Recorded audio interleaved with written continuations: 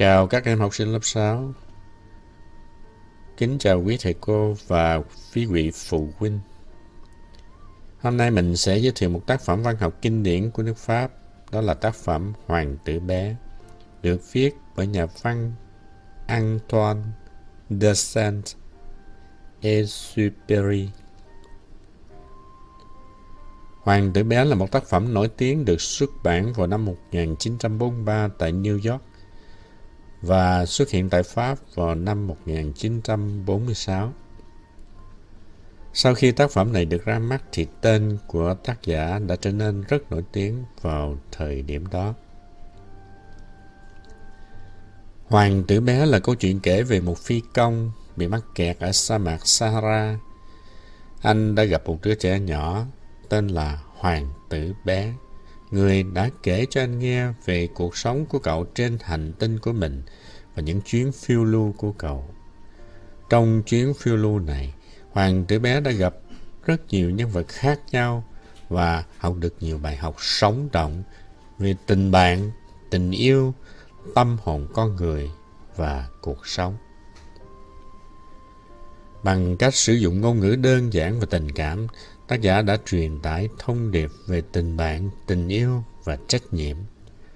Qua nhân vật Hoàng tử bé, chúng ta được học cách quan sát và đánh giá thế giới xung quanh, cách hiểu những con người khác nhau và cách chấp nhận bản thân mình.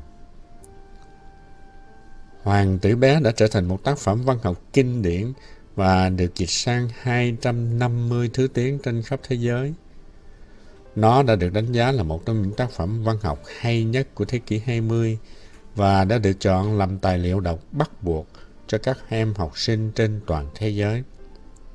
Tác phẩm này thực sự xứng đáng để cho các em đọc hoặc nghe và trải nghiệm.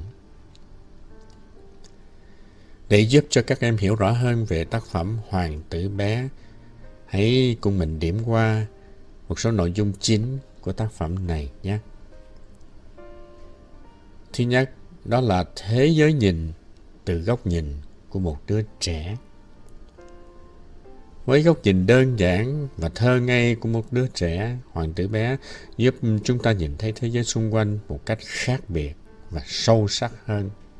Những bài học về tình bạn, tình yêu, sự chấp nhận bản thân và trách nhiệm đều được truyền tải một cách đơn giản và dễ hiểu qua góc nhìn của nhân vật hoàng tử bé. Điểm thứ hai đó là ý nghĩa của tình bạn. Tình bạn giữa hoàng tử bé và người phi công là một trong những điểm nhấn của tác phẩm. Chúng ta được học cách đối xử với người khác bằng sự chân thành, tôn trọng và hiểu biết lẫn nhau. Điều thứ ba đó là sự đánh đổi, sự đánh đổi trong cuộc sống. Tác phẩm cũng đề cập đến sự đánh đổi và hy sinh trong cuộc sống. Hoàng tử bé đã hy sinh cuộc sống bản thân để cứu con cừu yêu quý của mình. Chúng ta được học cách quan tâm và lo lắng cho người khác và đôi khi phải hy sinh chính bản thân mình để giúp đỡ họ. Một điểm nữa đó là tình yêu và trách nhiệm. Tác phẩm cũng nhấn mạnh đến tình yêu và trách nhiệm. Hoàng tử bé đã giải cứu hoa hồng của mình và chịu trách nhiệm với nó. Chúng ta cũng cần học cách đối xử với những người thân yêu xung quanh mình và có trách nhiệm với họ. Với những nội dung này, Hoàng tử bé không chỉ là một tác phẩm văn học kinh điển mà còn là một bài học quý giá về tình yêu, trách nhiệm và tình bạn. Các em học sinh lớp 6 có thể tham khảo tác phẩm này để học hỏi và trau dồi kỹ năng văn chương cũng như là tư duy nhạy bén. Nếu đã đọc qua toàn bộ tác phẩm, các em sẽ thấy rằng Hoàng tử bé không đơn thuần là một cuốn sách dành cho trẻ em đâu, mà cũng là một chuyển chọn các tư tưởng sâu sắc về cuộc sống, tình yêu và sự tồn tại. Trong trích đoạn nếu cậu muốn có một người bạn mà các em được học ở lớp 6, tác giả Antoine lưu ý đến việc đối xử với người khác bằng cách tạo ra một mối quan hệ thân thiết, thật sự và ý nghĩa. Cuộc đời là quá trình gặp gỡ, kết bạn và đối xử với nhau. Và ta không thể sống một cuộc đời yên bình nếu mà không có sự hiểu biết, lấy nhau làm bạn và chia sẻ. Hoàng tử bé đã nói với người phi hành gia rằng để có một người bạn thiết thân thì cần phải dựa vào tâm hồn chứ không phải dựa trên thân hình. Hoàng tử bé cho rằng một người bạn tốt là người có thể hiểu và chia sẻ mọi điều với nhau, người có thể thấu hiểu sự sống và tình yêu. Các em học sinh lớp 6 sẽ được học trích đoạn nếu cậu muốn có một người bạn. Trích từ chương thứ 19 của tác phẩm văn học này. Các em có thể nghe hoặc là đọc toàn bộ tác phẩm Hoàng tử bé trên kênh YouTube, trên podcast hoặc là trên website có cùng tên Đồ già AI. Đồ già có nghĩa là ông đồ già. AI là viết tắt của cụm từ tiếng Anh, Artificial Intelligence. Ông thầy đồ già trong thời đại trí thông minh nhân tạo và gọi vắn tắt là đồ già AI.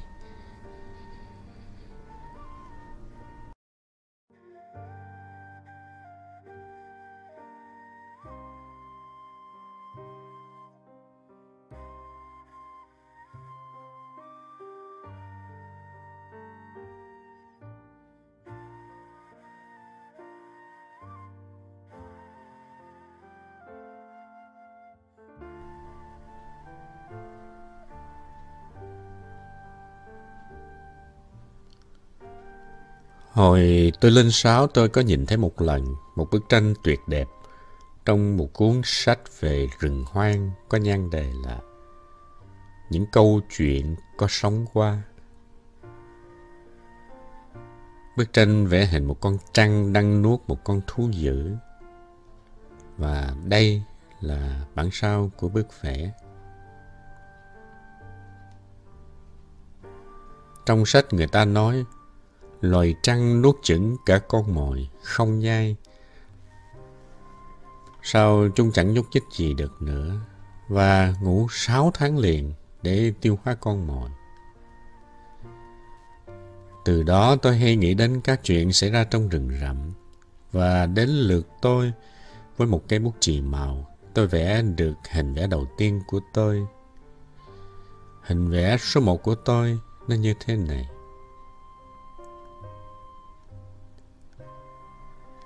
Tôi đưa cho các người lớn xem kiệt tác của tôi và hỏi họ bức vẽ của tôi có làm cho họ sợ không? Họ trả lời, sao một cái mũ lại làm cho sợ được? Bức tranh của tôi đâu có vẽ một chiếc mũ. Nó vẽ một con trăng đang tiêu hóa một con voi. Thế là tôi vẽ lại bên trong bụng trăng để cho các người lớn có thể hiểu được. Đối với người lớn, bao giờ cũng phải giảng. Bức vẽ số 2 của tôi nó như thế này. Các người lớn khuyên tôi hãy để qua một bên các bức vẽ trăng nhìn bên ngoài hay là bộ đôi kia đi. Và hãy để tâm vào môn địa, môn sử, môn toán và môn ngữ pháp. Như vậy đó mà vào tuổi lên sáu tôi đã bỏ qua một cuộc đời họa sĩ tuyệt diệu. Tôi thất vọng vì bức vẽ số 1 và bức vẽ số 2 của tôi không thành công. Các người lớn không bao giờ tự mình hiểu được điều gì. Và trẻ con lúc nào, lúc nào cũng phải giảng giải cho các ông đến nhọc. Thế là tôi phải chọn một cái nghề khác và à, tôi học lái máy bay. Trên thế giới đâu tôi cũng từng có bay một tí. Và môn địa lý đúng thế có giúp cho tôi nhiều. Chỉ nhìn qua tôi biết nhận ra đây là Trung Quốc chứ không phải vùng Arizona. Cái đó cần lắm. nếu ban đêm ta bị lạc. Như vậy đấy, trong cuộc đời tôi, tôi có hàng đống những cuộc gặp gỡ với khối người quan trọng. Tôi đã sống nhiều ở nhà những người lớn. Tôi đã nhìn thấy họ rất gần. Việc này vẫn chẳng làm tôi đánh giá họ khá hơn bao nhiêu. Khi gặp một người lớn có vẻ hơi sáng suốt một chút, tôi liền đem bức vẽ số một mà tôi vẫn giữ để thử ông ta. Ông ta trả lời hoài. Đây là một cái mũ. Thế là tôi chẳng thèm nói với ông ta về rắn trăng, rừng hoang hay là trăng sao gì nữa. Tôi tự hạ ngang tầm ông ta. Tôi nói với ông ta về bài bạc, về đấu bóng, về chính trị và về cà vạt. Thế là người lớn rất lấy làm bằng lòng được gặp một người biết điều như tôi.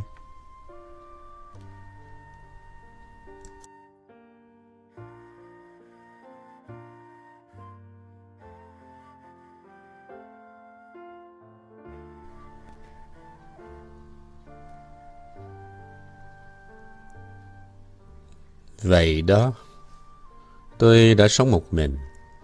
Chẳng có ai thật sự chuyện trò. Cho đến một hôm, tôi hỏng máy bay ở trong sa mạc Sahara cách đây 6 năm. Có cái gì trong máy vỡ. Nhưng vì tôi đi một mình, không thợ máy, không hành khách, tôi bắt đầu cố chữa cho được ca hỏng khó khăn này. Đối với tôi, đây là một việc sống chết. Phải dè lắm tôi mới đủ nước uống 8 ngày.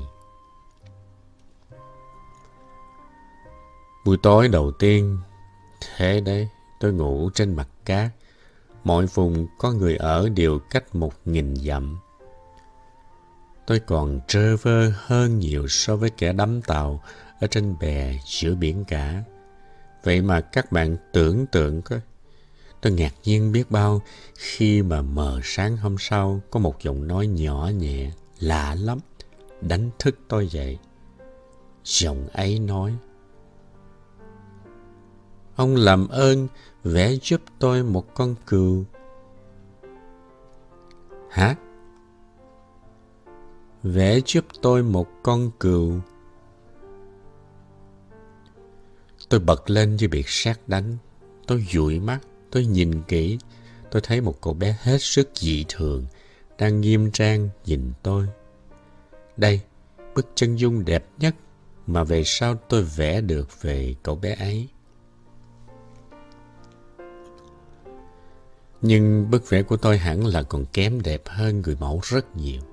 Lỗi đâu phải tại tôi, tại người lớn mà tôi nản lòng trong sự nghiệp hội họa. Vào lúc lên sáu, và tôi chẳng học vẽ một tí nào hết ngoài các con trăng nhìn bên ngoài hay bổ dọc. Mắt tròn xoe kinh ngạc. Tôi nhìn hình người hiện ra trước mắt. Các bạn chớ quên rằng, lúc bây giờ tôi đang cách mọi vùng có người ở là một nghìn dặm nhé. Thế mà cậu bé của tôi không có vẻ gì là bị đi lạc cả cũng không chết nhọc, chết đói, chết khát, chết sợ. Em không có bộ tịch gì của một đứa bé bị lạc giữa sa mạc, một nghìn dặm cách mọi nơi có người ở. Sau cùng, mở được cái miệng, tôi hỏi.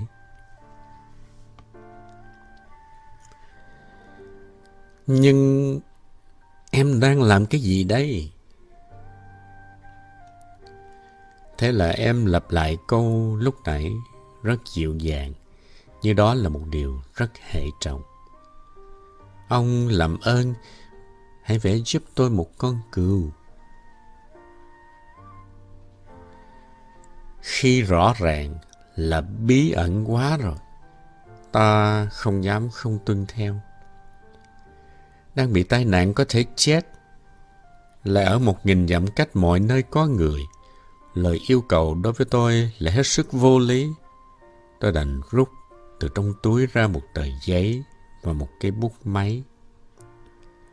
Nhưng tôi liền nhớ ngay rằng mình đã chỉ học môn địa lý, môn sử, môn toán và môn ngữ pháp nhiều nhất. Nên tôi nói với cậu bé, tôi hơi khó chịu rằng tôi không biết vẽ. Em trả lời tôi, không hề gì, ông vẽ cho tôi một con cừu. Vì tôi chưa hề vẽ một con cừu nào, nên tôi vẽ lại cho em một trong hai bức hình duy nhất mà tôi có thể vẽ. Hình con trăng bụng kín. Tôi ngạc nhiên nghe cậu bé trả lời. Không, không, tôi không thích con voi trong bụng trăng đâu. Con trăng nó thật là nguy hiểm, mà con voi thì kềnh càng quá. Ở quê tôi voi nó bé tí tẹo kia. Tôi cần một con cừu, vẽ cho tôi một con cừu. Thế là tôi vẽ. Em nhìn chăm chú rồi nói. Không, con ấy ốm quá rồi. Ông hãy làm con khác. Tôi vẽ. Cậu bạn tôi mỉm cười dễ thương, giọng khoan dung. Ông nhìn xem, không phải cừu, nó là dê. Nó có sừng mà. Tôi liền vẽ lại bức vẽ một lần nữa, nhưng bức này cũng bị bác như là những bức trước. Con ấy nó già quá. Tôi muốn một con cừu sống được lâu cơ. Không có đủ kiên nhẫn vì tôi sốt ruột muốn bắt tay vào việc tháo ngay cái máy. Thế là tôi nguệt ngoạc bức vẽ này. Và tôi nói to. Cái này là cái hòm. Con cừu em thích. Nó ở trong đó. Nhưng tôi hết sức kinh ngạc thấy khuôn mặt của vị giám khảo trẻ tuổi của tôi sáng rỡ lên. Đúng là tôi muốn như thế này đây. Với con cừu này, có cần nhiều cỏ không ạ? À? Sao em hỏi thế? Vì căn nhà tôi nó bé tí tẹo mà. Chắc là đủ em à.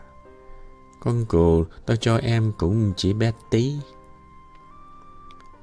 Em cúi đầu xuống bức vẽ. Chẳng bé quá đâu. Ôi, nó ngủ rồi đây này. Và thế đấy, tôi làm quen với hoàng tử nhỏ.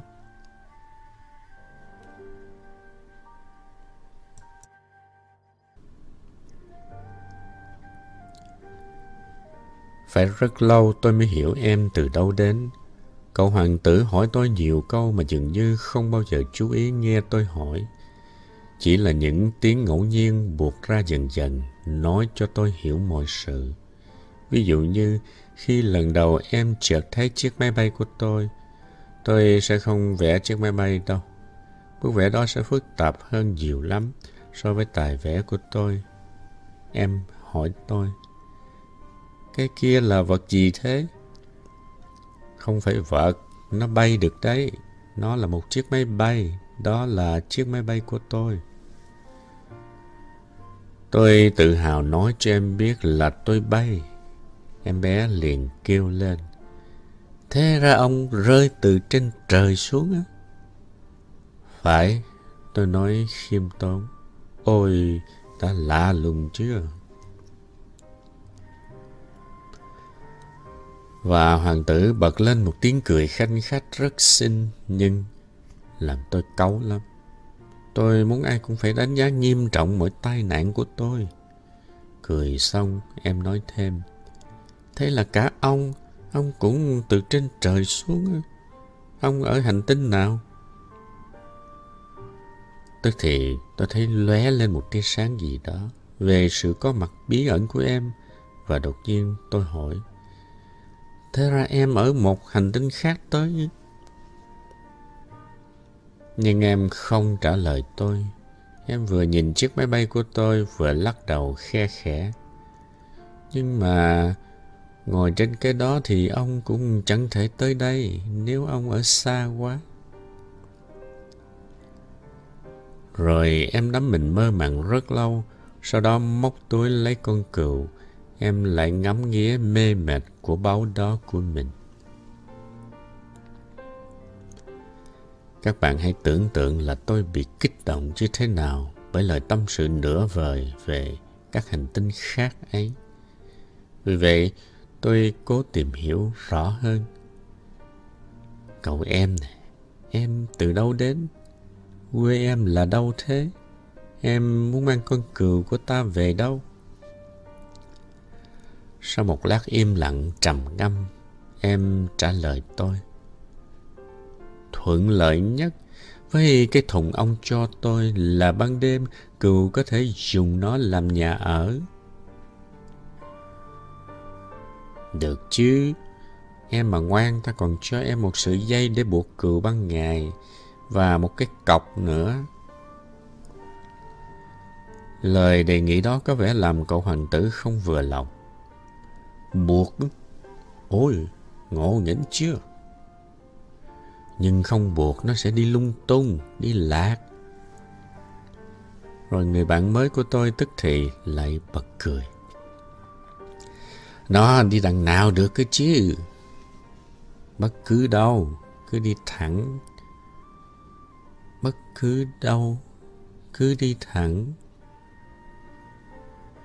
Đến đó cậu hoàng tử nghiêm trang nhận xét. Không hề gì, với tôi bé lắm. Rồi với một chút xíu ngậm ngùi, có lẽ thế, em nói thêm. Nếu mà cứ đi thẳng thì chẳng lấy gì làm xa.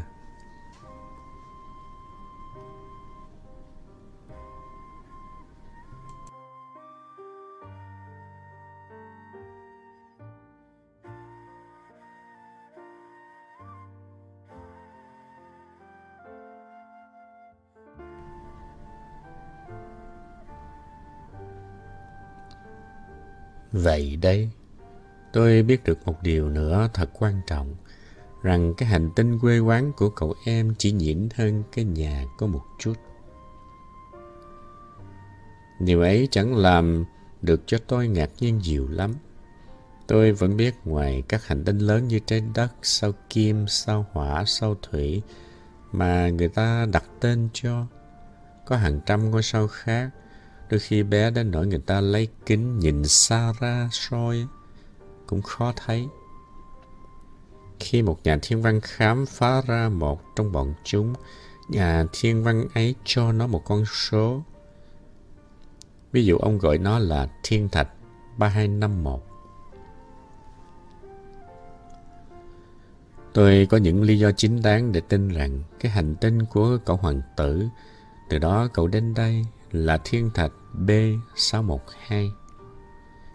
Thiên thạch đó chỉ được trông thấy có một lần trong kính nhìn xa năm 1909 bởi một nhà thiên văn thổ. Ông ta liền lý giải ồn ào về sự khám phá của mình tại một hội nghị quốc tế về thiên văn. Nhưng do cách ăn mặc của ông ta, chẳng ai tin điều ông ta nói. Người lớn là thế mà. May mắn cho thiên thạch B612, một nhà độc tài thổ buộc nhân dân thổ phải mặc quần áo người Âu. Ai không tuân theo thì sẽ bị tội chết. Nhà thiên văn làm lại cuộc trình bày năm 1920 trong một bộ quần áo rất lịch sự. Và lần này tất cả mọi người đồng ý với ông ta. Nếu tôi kể với các bạn tỉ mỉ về thiên thạch B612 và nếu tôi rỉ tai với các bạn về con số của nó, ấy là tại các người lớn đó. Các người lớn thích chữ số. Khi bạn nói chuyện với họ về một người bạn mới, không bao giờ họ hỏi bạn về cái chính đâu. Họ không bao giờ hỏi giọng nói hắn ta thế nào, hắn ta thích chơi trò gì Hắn ta có tập sưu tầm bướm bướm không? Họ chỉ hỏi bạn Hắn ta bao nhiêu tuổi? Hắn ta có mấy anh em? Hắn ta bao nhiêu cân? Bố hắn ta lương bao nhiêu? Thế Sau đó họ cho vậy là họ hiểu hắn ta rồi. Nếu bạn nói với những người lớn, tôi có thấy một cái nhà bằng gạch màu hồng với hoa phong lữ trên cửa sổ và chim bồ câu trên mái. Họ chẳng làm thế nào hình dung nổi nhà ấy như thế nào đâu. Phải nói với họ, tôi có thấy một cái nhà mười vạn đồng. Họ sẽ kêu lên ngay, ôi thật là đẹp. Vậy đó, nếu các bạn bảo họ cậu hoàng tử là có thật, chứng cớ là cậu ta rất đẹp, cậu ta cười và cậu ta thích có một con cừu. Khi người ta thích có một con cừu, thế là có người ấy chứ. Họ sẽ nhún vai và cho bạn là trẻ con. Nhưng nếu bạn bảo họ cái hành tinh từ đó cậu ấy đi đến đây là thiên thạch B612 Thế là họ nghe ra ngay. Và thôi không phá quấy bạn với các câu hỏi của họ nữa. Họ là như thế. Không nên giận họ. Trẻ con phải hết sức rộng lượng đối với người lớn. Phải, đúng thế. Đối với bọn ta là những người hiểu cuộc sống, chúng ta cốc cần những con số thứ tự. gia tôi bắt đầu kể câu chuyện này như cách một câu chuyện thần tiên thì thích hơn. Thích hơn, giá mạch tôi nói. Xưa có một lần, một cậu hoàng tử ở một căn nhà chỉ lớn hơn cậu ấy có một tẹo. Cậu ấy thấy cần có một người bạn thân. Đối với những ai hiểu cuộc sống, kể như vậy có vẻ thật hơn nhiều. Bởi vì tôi không muốn người ta đọc cuốn sách của tôi dễ dãi quá. Khi kể lại các kỷ niệm này, tôi tuổi cực biết bao. Sáu năm đã qua, từ khi cậu bạn thân thiết của tôi đi mất với con cừu của em. Nếu tôi thử tả lại em ở đây, chính là để tôi không quên em. Một người bạn thân mà mình lại quên thì buồn quá. Có phải ai cũng có được một người bạn thân đâu.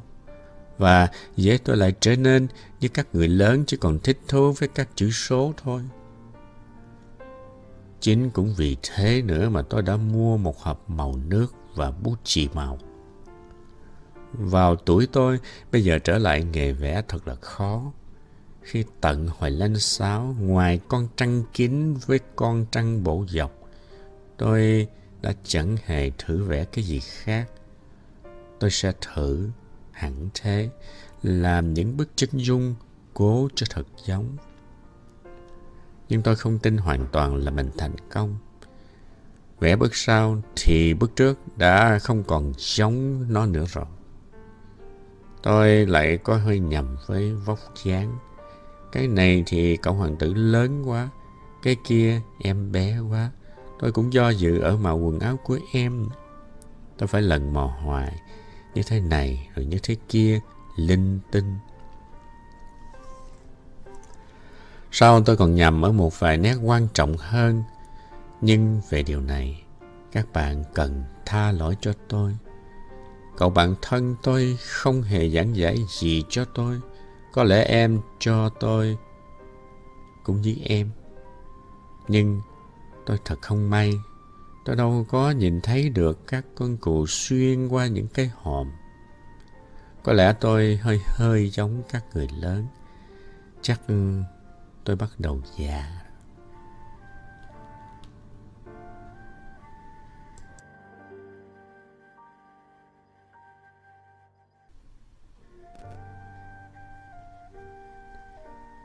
Mỗi ngày qua, tôi biết thêm một điều về hành tinh, về lúc ra đi, về cuộc đi của cậu, biết lần hồi theo dòng ngẫu nhiên của suy nghĩ.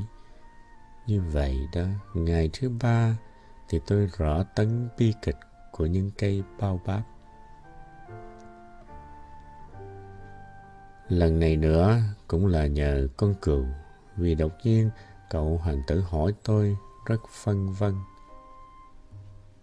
Có thật đúng là cừu ăn cái con không? Phải, đúng đấy. Ôi, tốt quá. Tôi không hiểu ngay tại sao những con cừu phải ăn cây con lại quan trọng như thế. Nhưng cậu hoàng tử nói thêm. Cho nên chúng ăn cả những cây bao báp chứ. Tôi nói rõ với cậu em rằng cây bao báp không phải loại cây con mà là những cây to như cả cái nhà thờ. Và cậu em có mang theo cả một đàn voi thì cả đàn voi ấy cũng chẳng làm gì sể chỉ mỗi một cái bao bát Ý nghĩ về đàn voi làm cho cậu hoàng tử bật cười. Phải chồng con này lên con kia. Nhưng rất tinh khôn, cậu em nhận xét. Bọn bao báp trước khi lớn cũng từng bé tẹo chứ. Đúng thế, nhưng sao em lại cứ muốn cho các con cừu của em ăn những cây bao báp? Em trả lời, hmm, thế thôi.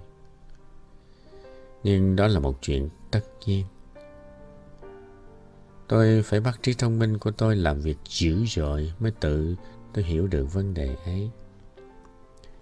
Nguyên là trên hành tinh của cậu hoàng tử cũng như trên mọi hành tinh khác đều có những loại cỏ tốt và những loại cỏ xấu. Do đó, có hạt tốt của cỏ tốt và hạt xấu của cỏ xấu. Nhưng không nhìn thấy hạt. Chúng ngủ trong huyền bí của đất cho đến khi một cái hạt nào trong bọn chúng thức dậy. Nó vươn vai, rụt rè, nảy ra về phía mặt trời, một cái nhánh con hiền lành, tuyệt sinh. Nếu là một nhánh dưa hay một nhánh hồng, ta có thể để nó mọc thế nào tùy ý. Nhưng nếu là một cây xấu, khi nhận ra cây xấu thì phải nhổ ngay. Mà ngày ấy, trên cái hành tinh của cậu hoàng tử thì có nhiều hạt kinh khiếp quá. Ấy là những hạt bao báp. Mặt đất hành tinh ô nhiễm đầy hạt bao báp. Mà một cây bao báp, nếu như ta đối phó muộn màng quá, ta có thể chẳng bao giờ dậy nó ra được nữa. Nó cho rễ của nó xói đục hành tinh. Và nếu hành tinh mà bé quá, và nếu cây bao báp mà nhiều quá, bao báp có thể làm vỡ tung hành tinh.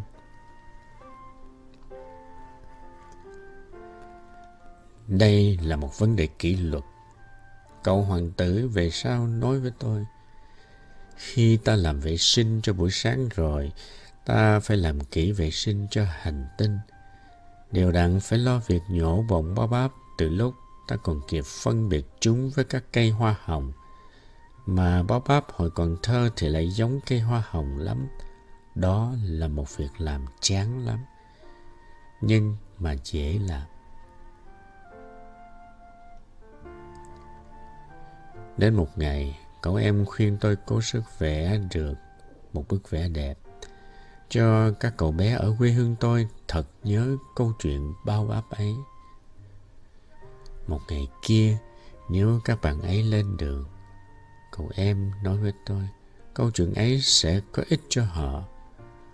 Một việc ta hoãn đến hôm sau hãy làm, đôi khi cũng chẳng hại gì. Nhưng nếu là những cây bao báp thì bao giờ cũng tai họa đấy. Tôi có biết một hành tinh, trên hành tinh ấy là một cô bé lười. Hắn ta bỏ bẵng ba cái cây con. Thế là theo những điều chỉ dẫn của cậu hoàng tử, tôi đã vẽ cái hành tinh đó. Tôi tuyệt không thích lên giọng dạy đời, nhưng cái họa bao báp còn ít người biết quá mà những hiểm nguy một cậu bé, một mai lạc vào một thiên thạch gặp phải thì nhiều. Cho nên lần này, ngoại lệ, tôi không giữ gìn nữa. Tôi nói, hỡi các em, các em phải đề phòng bọn bao báp Ấy chính là để báo trước cho các bạn của tôi về một nguy cơ mà các bạn cũng như tôi vẫn đi gần kề. Mà tôi cặm cụi biết bao để vẽ bức vẽ đó. Bài học mà tôi rút ra đáng cho tôi cố công. Có lẽ bạn sẽ tự hỏi, tại sao trong cuốn sách này không có bức vẽ nào to lớn bằng bức vẽ những cái bao bát. Câu trả lời giản dị thôi. Tôi có thử vẽ nhưng đã không thành. Khi vẽ cây bao báp, ý nghĩ về một cái gì rất khẩn cấp thúc giục tôi.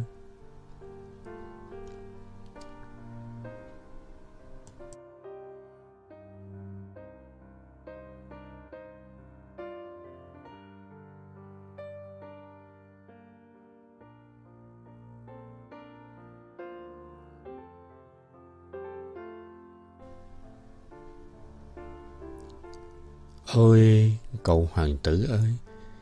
Dần già như vậy đó, tôi hiểu ra cuộc đời nhỏ nhoi, mang mát của em. Để đùa chơi, bao lo em chỉ có mỗi ánh dịu dàng khi mặt trời sắp tắt. Vào sáng ngày thứ tư thì tôi biết được nhắc mới đó khi em bảo tôi. Tôi rất thích cảnh mặt trời lặn. Ta đi xem mặt trời lặn đi.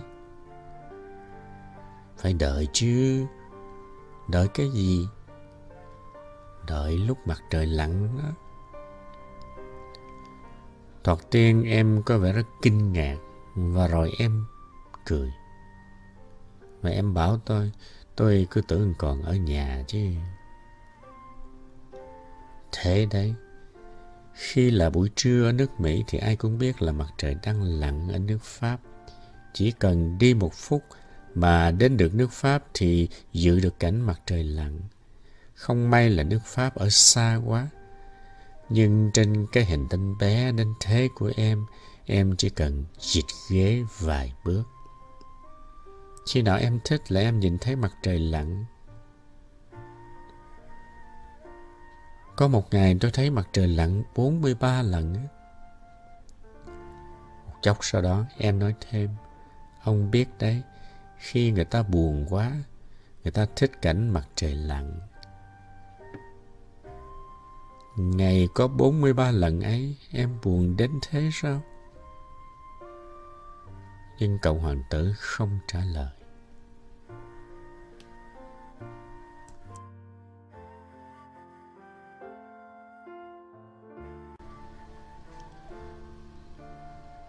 Ngày thứ năm vẫn là nhờ ở con cừu.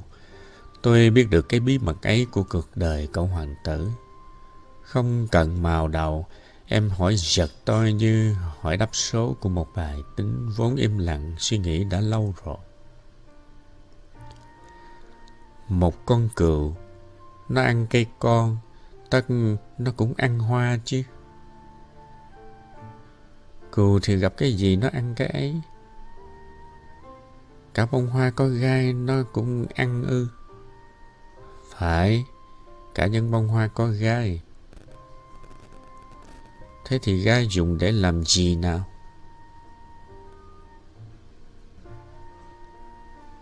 Tôi không biết. Tôi bây giờ đang rất bận tháo một đinh ốc vặn chặt quá trong chiếc máy của tôi. Tôi lo quá vì thấy cái máy có vẻ hỏng nặng lắm. Mà nước uống thì cạn dần, làm cho tôi sợ xảy ra điều tệ hại nhất. Gai, gai thì dùng để làm gì? Cậu hoàng tử mà đã đặt một câu hỏi nào là không bao giờ chịu bỏ. Đang bực mình vì chiếc đinh ốc của tôi, tôi trả lời liệu. Gai, nó chẳng dùng được vào việc gì sắc. Nó chỉ là cái áo của loài hoa thôi. Ôi chao! Nhưng sau một lát im lặng, cậu em chẩu môi lại phía tôi, vẻ hờn dỗi. Tôi không tin. Loài hoa chúng yếu lắm. Chúng ngây thơ lắm. Chỉ là chúng cố tự làm cho chúng được vững tâm. Chúng cho là với những cái gai thì chúng đã ghê gốm lắm. Tôi không trả lời gì cả. Lúc ấy tôi nói thầm. Cái đình ốc này, mày mà cưỡng lại ông ông ngoại mày một nhát búa. Cậu hoàng tử một lần nữa làm sao lãng những suy nghĩ của tôi. Ông, ông cho rằng loài hoa... Không, không mà, tôi có cho là gì đâu. Tôi trả lời linh tinh thế thôi. Tôi, tôi đang bận vì những việc hệ trọng mà. Cậu nhìn tôi ngạc nhiên. Những việc hệ trọng?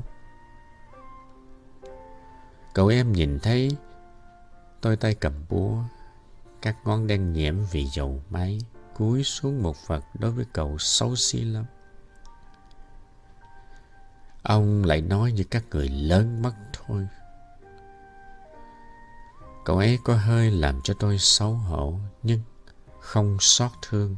Cậu em nói thêm, ông lẫn lộn hết, ông xáo trộn hết.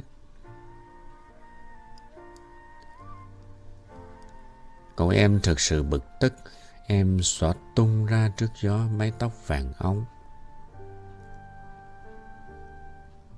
Tôi có biết một hành tinh, trên đó có một ông mặt mũi đỏ gay. Ông ta không hề hít một bông hoa, không hề nhìn một vì sao, không hề yêu một người nào. Chẳng bao giờ làm cái gì khác. Những bài tính cộng Thế mà suốt ngày ông ta cứ lặp đi lặp lại như hệt ông vậy. Tôi là một người đứng đắn, tôi là một người đứng đắn. Và cái đó làm cho ông ta ưỡn ngực ra. Nhưng ông ta đâu có phải là người. Ông ta chỉ là cái nắm thôi. Cái gì? Cái nấm Bây giờ mặt cậu hoàng tử tái xanh vì giận dữ. Đã hàng triệu năm nay, loài hoa sản xuất nên gai. Hàng triệu năm nay, loài cừu vẫn cứ ăn hoa. Vậy mà tìm hiểu xem vì sao hoa lại cứ phải gian khổ biết bao sản xuất những cái gai vô tích sự ấy. Tìm hiểu điều ấy là là chuyện không đứng đắn hay sao? Chiến tranh giữa loài cừu và loài hoa là chuyện không quan trọng hay là sao? Không đứng đắn hơn, không quan trọng hơn những bài tính cộng của một cái ông to tướng mặt mũi đỏ gay hay sao? Và tôi biết một cái hoa duy nhất trên đời không đâu có nó ngoài cái hành tinh của tôi. Thế mà một con cừu nhỏ có thể táp một cái như thế và hủy nó một sáng nào đó. Rồi không mấy may chú ý là mình vừa làm cái gì. Chuyện đó không quan trọng hay sao?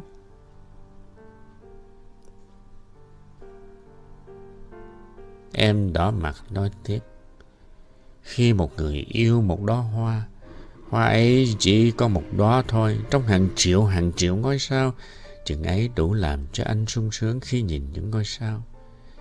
Anh ta nghĩ thầm, đóa hoa của mình nó ở đâu đây nhưng con cừu mà ăn cái hoa đi thì anh ta sẽ thấy như là tất cả các ngôi sao bỗng nhiên được tắt. Và chuyện đó không quan trọng hay sao?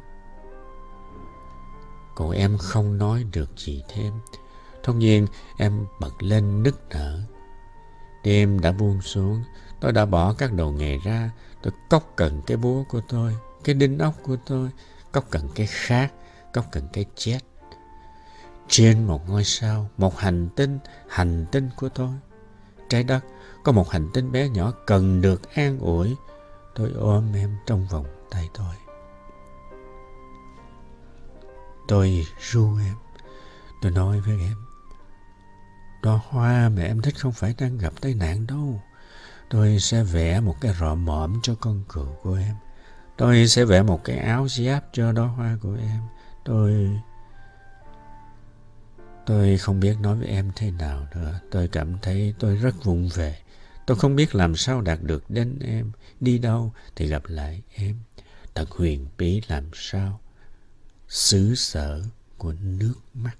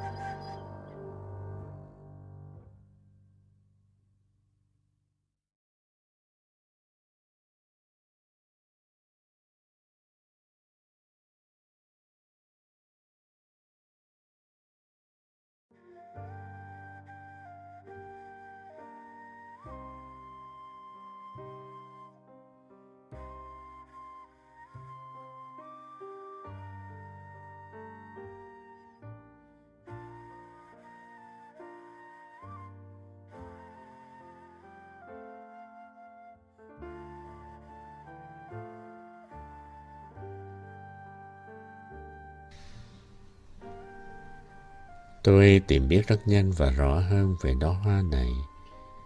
Trên hành tinh của cậu hoàng tử vẫn có những bông hoa rất đơn giản, điểm trang bằng chỉ một hàng cánh, tuyệt chẳng chiếm nơi chiếm chỗ gì và chẳng làm phiền ai. Một buổi sáng chúng lộ ra trong cỏ rồi lại liệm chết đi vào chiều tối. Nhưng cái hoa ấy một ngày kia đã nảy mầm từ một cái hạt không biết từ đâu mang tới. Và cậu hoàng tử đã chăm sóc rất xít sao cái nhánh con không giống với các nhánh con nào khác. Nó có thể là một loại bao báp mới, nhưng cái cây nhỏ liền thôi không lớn lên nữa và bắt đầu sửa soạn để ra hoa.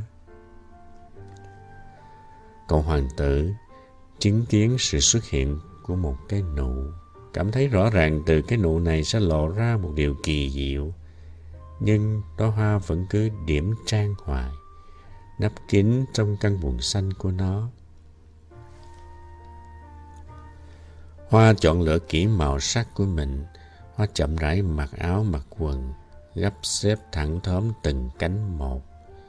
Hoa không muốn đi ra ngoài mà nhầu nát như các chị mồng gà.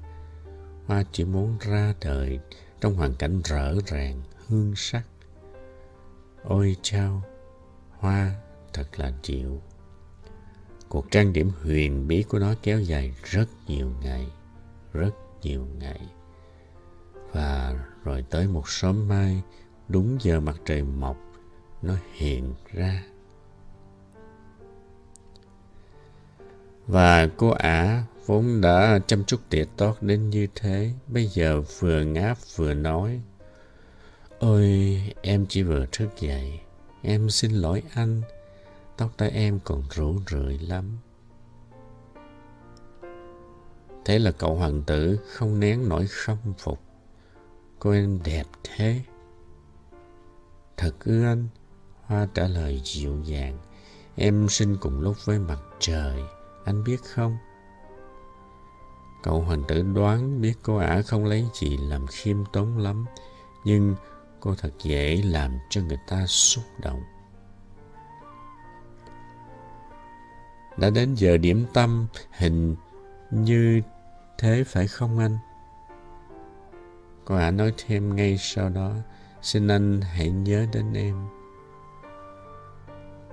Thế là cậu hoàng tử xấu hổ quá, đi lấy một chiếc ô doa nước lã và dọn lên cho bông hoa. Như vậy đấy, cô ả đã làm cho cậu em lo nghĩ nhiều và nhanh chóng với tính kiêu kỳ hơi u ám của cô. Chẳng hạn một hôm, cô đã nói với cậu hoàng tử về bốn cái gai của mình. Chúng có thể tới đây, lũ hổ ấy, móng vuốt dễ sợ. Trên hành tinh của anh không có hổ. Cậu hoàng tử nhận xét, và lại hổ không ăn cỏ mà. Em có phải là cỏ đâu. Bông hoa đáp lại dịu dàng. Xin lỗi cô. Em chẳng sợ gì hổ, nhưng em khiếp các luồng gió. Anh có một tấm chắn gió nào không anh? Khiếp các luồng gió đối với một cái cây nhỏ thế là không hay. Cậu hoàng tử nhận xét, cô á hoa này khó tính đây. Chiều tối, anh hãy đặt em trong bầu kính nhé. Quê anh rét lắm, thiếu tiện nghi quá. Ở chỗ của em ấy... Nhưng cô ả nín bặt. Cô ta quên. Cô đến đây lúc cô ấy hãy còn là hạt mà. Cô ta chẳng thể hiểu được điều gì về các thế giới khác. Ngượng vì lỡ mà để bị bắt gặp là mình nói dối đến ngây ngô quá như thế. Cô húng hắn ho hai ba lượt để nhắc lại cho cậu hoàng tử biết cậu thật không chu đáo. cây chăn gió, anh có không? Anh đã định đi lấy thì em bắt đầu nói. Tuy vậy, cô ả vẫn ho nữa để buộc cậu phải biết lỗi. Cậu hoàng tử như vậy đấy. Đã ngờ ngay về cô ả, mặc dù rất quý cô, Cậu vẫn đối xử với cô rất tốt. Cậu đã suy nghĩ nghiêm trang về những lời tưởng không quan trọng gì của cô và khổ lắm. Đáng lẽ tôi không nên căn cứ vào những điều mình nghe. Đừng bao giờ nên nghe loài hoa cả. Một hôm cậu em tâm sự với tôi. Chỉ nên nhìn chúng, hít mùi hương của chúng thôi. Cây hoa của tôi làm thơm ngát hành tinh của tôi, nhưng tôi lại không vui vì thế. Câu chuyện móng vuốt ấy đáng lẽ là làm cho tôi mềm lòng thì tôi lại bực. Cậu còn tâm sự với tôi. Ngày ấy, tôi chẳng biết cách tìm hiểu gì cả. Đáng lẽ tôi phải xét đoán cô ả trên việc làm, chứ không phải bằng và lời nói. Cô tỏa thơm tôi, làm cho tôi sáng rực lên. Đáng lẽ tôi không nên bao giờ bỏ đi cả. Đáng lẽ tôi phải đoán được tình cảm chân thật của cô đằng sau mọi mánh khóe vặt vảnh ấy. Loài hoa, họ hay trái tính, trái nết lắm. Lúc bây giờ tôi còn trẻ quá nên chẳng biết quý người.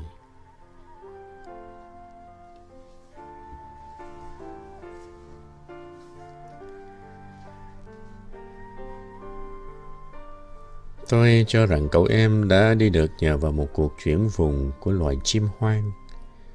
Buổi sáng hôm ra đi, em đã dọn dẹp hành tinh thật ngăn nắp.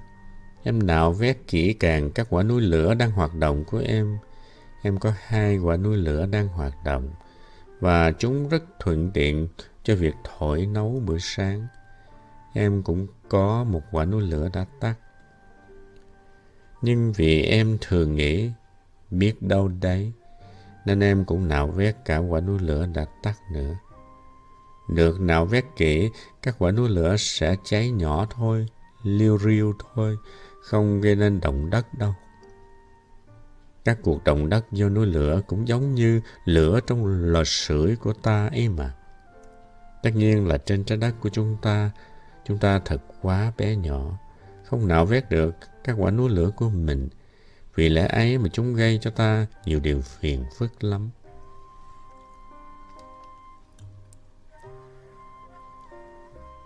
Cậu hoàng tử cũng bứt những búp măng vừa nhú của các cây bao báp, lòng hơi mang mát.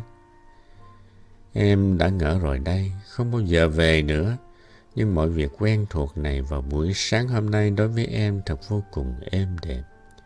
Đến khi em tưới đóa hoa lần sau chót, sắp sửa cất kỹ nó trong bầu kính, em bắt gặp, em muốn khóc. Từ biệt, em nói với Hoa, nhưng cô ả không đáp. Từ biệt. Em lặp lại.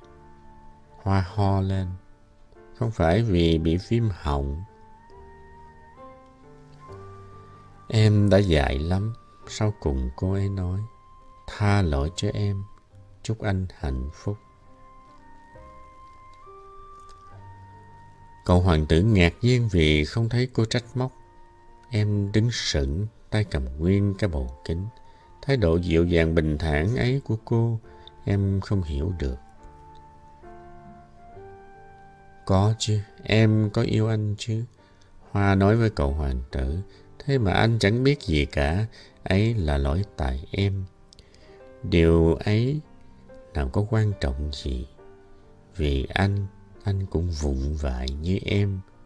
Chúc anh hạnh phúc. Thôi, anh hãy để yên cái bầu kính đó. Em chẳng thiết nữa. Thế gió nó... Em có bị sổ mũi nhiều đâu. Gió mát ban đêm hay cho em ấy chứ. Em là cái hoa mà. Còn bọn thú nữa. Em muốn biết bướm bướm là thế nào. Em phải chịu đựng vài ba con sâu. Hình như lũ bướm ấy thật là đẹp. Nếu không, rồi ai sẽ viếng thăm em? Anh thì ở xa. Còn bọn thú dữ, em có lo gì? Em có móng vuốt của em. Thực đấy, cô chìa bốn cái gai ra và nói thêm. Anh chứ có chừng chừ thế, khó chịu lắm. Anh đã quyết đi thì hãy đi đi. Bởi vì cô không muốn cậu em nhìn thấy cô khóc. Đóa hoa ấy nó vô cùng kiêu hãnh.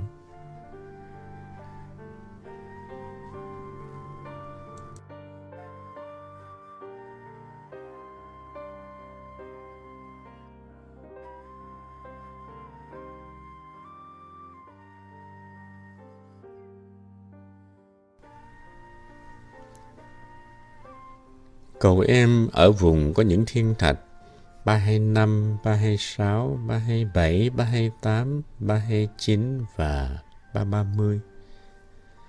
Nên em bắt đầu đi thăm các thiên thạch ấy để tìm một việc gì mê mải và để học tập. Thiên thạch thứ nhất là do một ông vua ở. Ông vua mặc quần áo bằng nhung và bằng lông thú ngự trên một cái ngai trong giảng dị thế nhưng uy nghi lắm. Ôi, đây một thần dân. Ông vua kêu lên thế khi nhát thấy cậu hoàng tử. Cậu hoàng tử nghe liền nghĩ thầm. Ông ta chưa bao giờ gặp mình bao giờ. Sao ông ta nhận ra được mình nhỉ?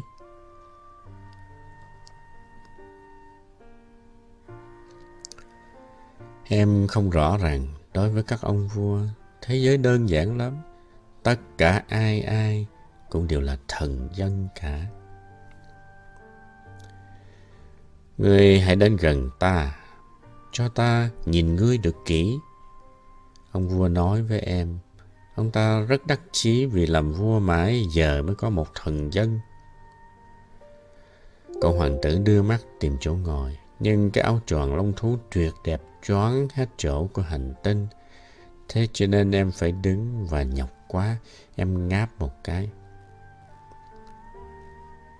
Đứng trước một bậc đế vương mà ngáp là không đúng lễ. Vua phản, ta cấm ngươi ngáp.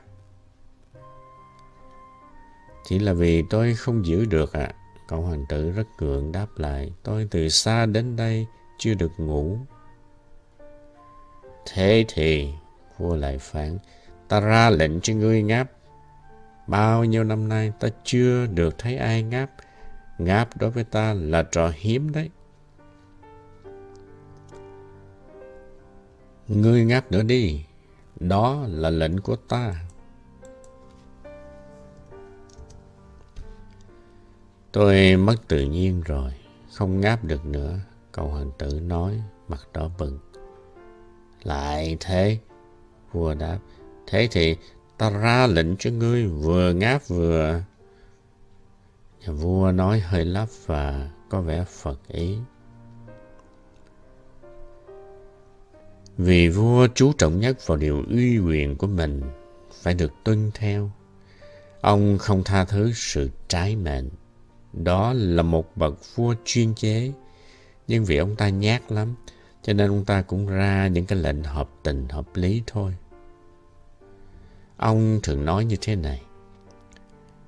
Nếu ta mà ra lệnh cho một võ tướng phải biến thành chim biển, và võ tướng ấy chẳng tuân lệnh ta, thì ấy không phải là lỗi của võ tướng ấy, mà ấy là lỗi của ta.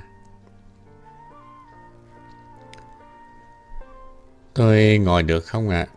Cậu hoàng tử rụt rè hỏi. Ta lệnh cho ngươi ngồi. Vua đáp lại, vừa kéo lại về phía chân mình một vạt áo lông thú. Xong cậu hoàng tử vẫn lạ quá. Cái hành tinh đến bé, thế thì ông vua trị vì cái gì?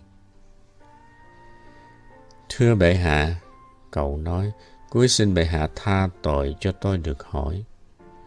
Ta lệnh cho ngươi hỏi. Vua vội vàng nói. Tâu bệ hạ, bệ hạ trị vì cái gì? Nhà vua đáp, hết sức giản dị. Muôn vật. Muôn vật ư thưa bệ hạ. Vị vua kính đáo trỏ cái hành tinh của mình, các hành tinh khác và các ngôi sao. Tất cả muôn vật này câu Cậu hoàng tử hỏi. Tất cả muôn vật này. Vua trả lời. Bởi vì đó không những là một vị vua chuyên chế, mà còn là một vị vua phổ biến nữa. Các ngôi sao, chúng nó tuân lệnh bệ hạ không ạ? À? Hẳn chứ. Vua trả lời em, chúng tuân ngay lập tức, trẫm không dung tha sự bất tuân. Quyền lực như thế làm cho cậu hoàng tử mê thích lắm. Nếu bản thân em mà có quyền lực ấy, em mặc sức chứng kiến, không phải 44 mà 72, dễ đến 100, 200 cảnh mặt trời lặn trong một ngày mà chẳng phải dịch ghế bao giờ hết. Rồi em cảm thấy hơi buồn vì chợt nghĩ đến cái hành tinh nhỏ giờ vắng vẻ của mình. Em đến bảo xin nhà vua ân huệ. Tôi ao ước được xem một cảnh mặt trời lặn. Bệ hạ thi ân cho hay ra lệnh cho mặt trời lặn. Nếu ta ra lệnh cho một võ tướng bay từ đó hoa này sang đó hoa kia như một con bướm, hay lệnh cho ông ta viết một vở kịch, hay biến thành chim biển, và nếu vị võ tướng ấy không tuân lệnh, thì lỗi ấy là ở ông ta hay là ở ta? Muôn tâu ở bệ hạ, cậu hoàng tử nói cả quyết. Đúng, phải buộc người nào làm việc người đó có thể làm. Vua nói thêm, uy quyền trước hết dựa trên lẽ phải. Nếu nhà ngươi ra lệnh cho thần dân của mình nhảy xuống bể, cách mạng tất sẽ nổ ra. Ta có quyền buộc tuân lệnh ta vì mọi lệnh ta đều hợp lẽ.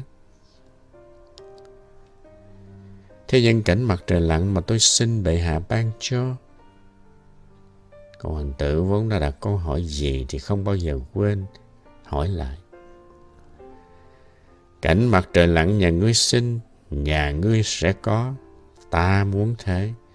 Nhưng trong khoa học cai trị của ta, ta phải đợi hội đủ mọi điều kiện.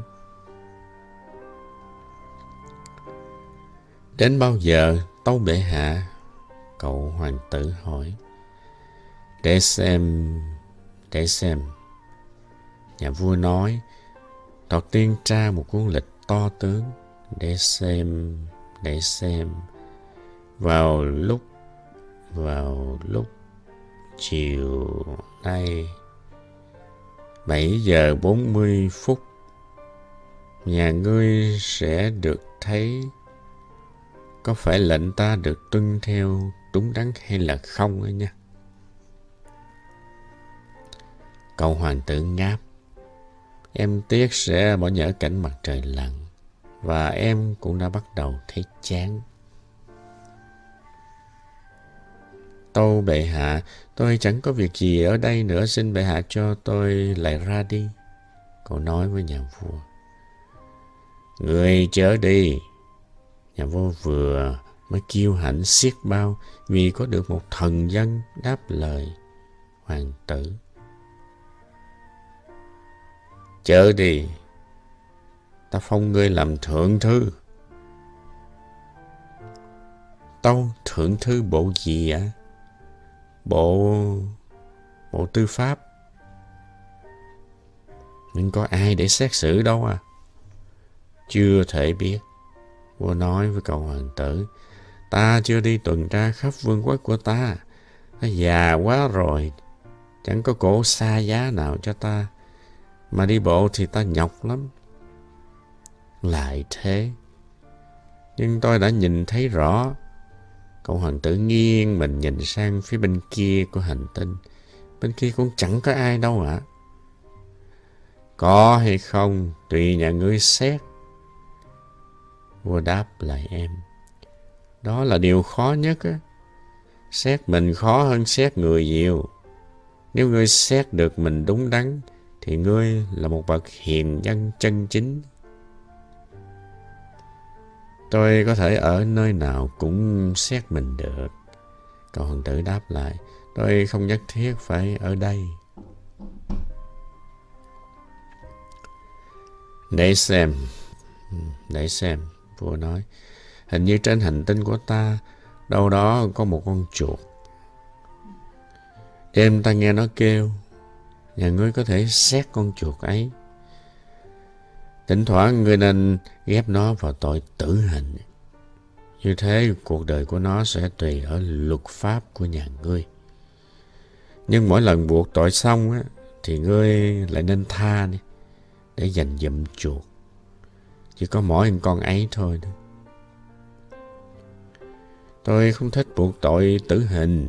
Cậu hoàng tử đáp lại và tôi nhất thiết phải từ biệt bệ hạ. Không, vua nói. Nhưng cậu hoàng tử đã sửa soạn xong, không muốn làm phiền lòng vị vua già một chút nào hết. Nếu bệ hạ muốn được tuân theo một cách đúng đắn, bệ hạ hãy cho tôi một cái lệnh hợp lẽ. Ví dụ như lệnh phải ra đi ngay tức khắc. Hình như mọi điều kiện đều thuận lợi. Nhà vua chẳng trả lời thế nào cả. Thoạt đầu có hoàng tử hơi do dự, rồi chợt thở dài, bắt đầu lên đường. Ta phong ngươi làm sứ giả của ta. Nhà vua vội vàng kêu lên. Ông ta có vẻ uy nghi, lẫm liệt. Những người lớn thật rất kỳ quặc. Cậu hoàng tử nghĩ thầm trong khi đi.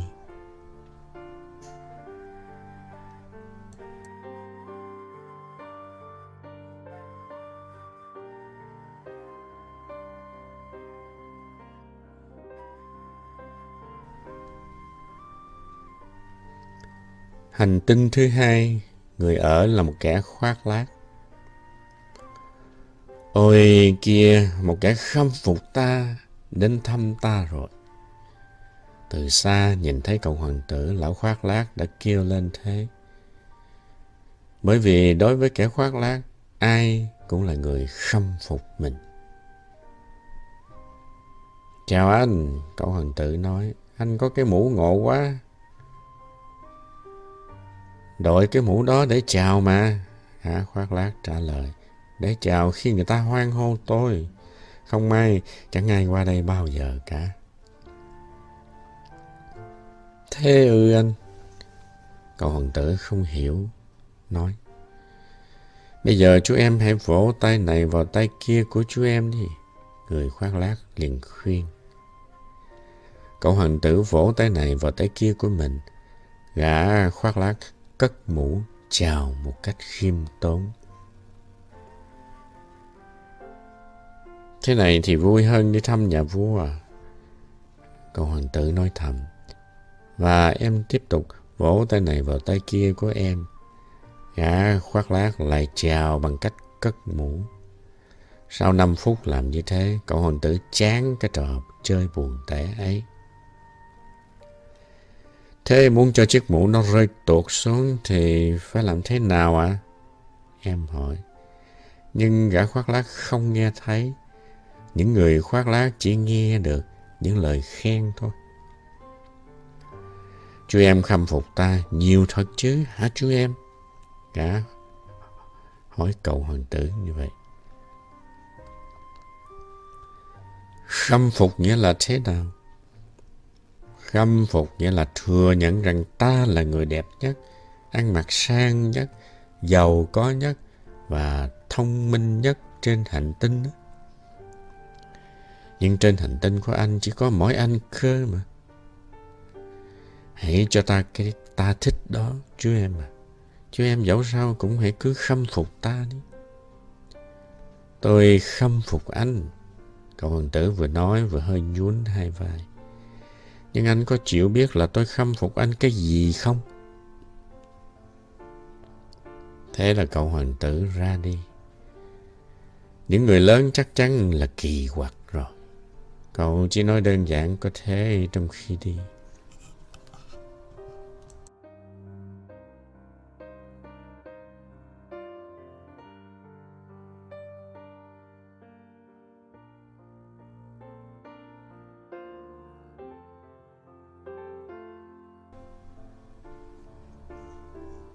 Cái hành tinh sau là của một gã nát rượu ở. Cuộc viếng thăm này hết sức ngắn nhưng lại làm cho cậu hoàng tử miên man buồn. Anh làm gì đấy? Cậu hoàng tử hỏi người nát rượu khi em thấy hắn ngồi lặng thinh trước một đống lớn chai không và một đống lớn khác chai có rượu. Ta uống rượu, người nát rượu nói vẻ thiểu não. Tại sao anh uống? Cậu hoàng tử hỏi anh ta. Uống để quên. Gã nát rượu trả lời. Quên cái gì? Cậu hoàng tử bắt đầu thấy thương, hỏi nữa. Quên nỗi xấu hổ của ta mà. Người nát rượu cúi đầu thú nhận. Xấu hổ vì cái gì? Cậu hoàng tử muốn có thể giúp đỡ gã kia cho nên lại hỏi. Xấu hổ vì uống rượu. Gã nát rượu thôi, không nói nữa và lần này quyết định nhốt mình trong lặng thinh. Còn cậu hoàng tử thì ra đi, sửng sốt. Những người lớn nhất định là rất rất kỳ quặc. Cậu tự nói thầm trong khi đi.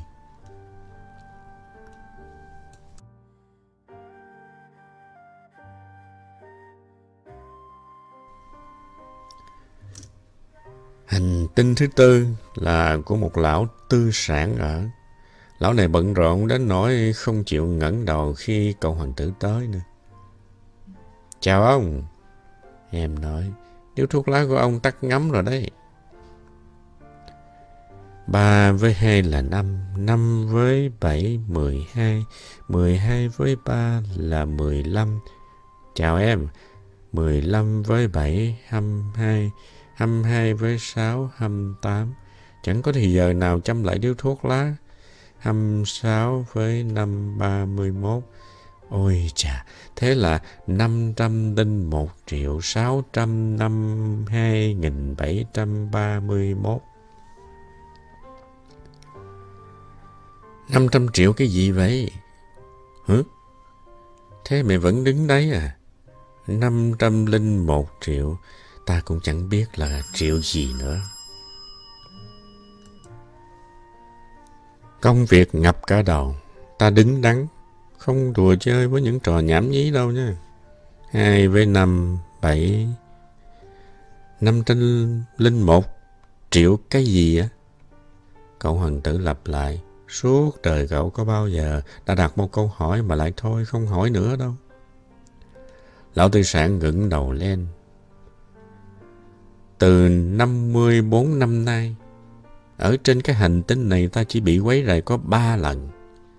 Lần đầu cách đây 20 năm bởi một con bọ hung rơi từ đâu xuống. Có trời mà biết. Nó gây nên một tiếng động dữ dội lắm và làm cho ta phạm đến bốn lỗi trong một bài tính cộng. Lần thứ hai cách đây 11 năm do một cơn sổ mũi Ta thì ít tập tành, ta không có thì giờ đi nhỏi. Ta đứng đắn, ta ấy. Lần thứ ba là lần này, ta đang nói 501 triệu. Triệu gì?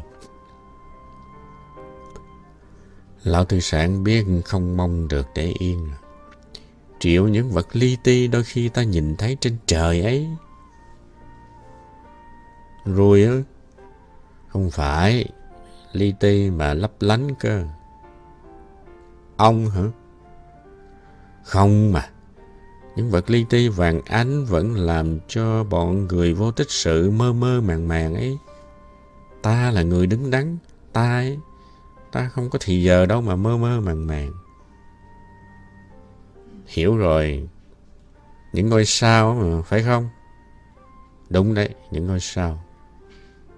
Thế ông làm gì với 500 triệu ngôi sao ấy? 501 triệu 652 nghìn tỷ 731. Ta là người đứng đắn. Ta ấy, ta rất chính xác. Thế ông làm gì những ngôi sao ấy? Ta làm gì à? Vâng, chẳng làm gì sắc. Ta có chúng thôi. Ông có những ngôi sao ấy hả? Phải. Nhưng tôi có trông thấy một ông vua, ông ấy cũng... Mấy ông vua không thể có, mấy ông vua chỉ trị vì thôi, rất khác nhau chứ.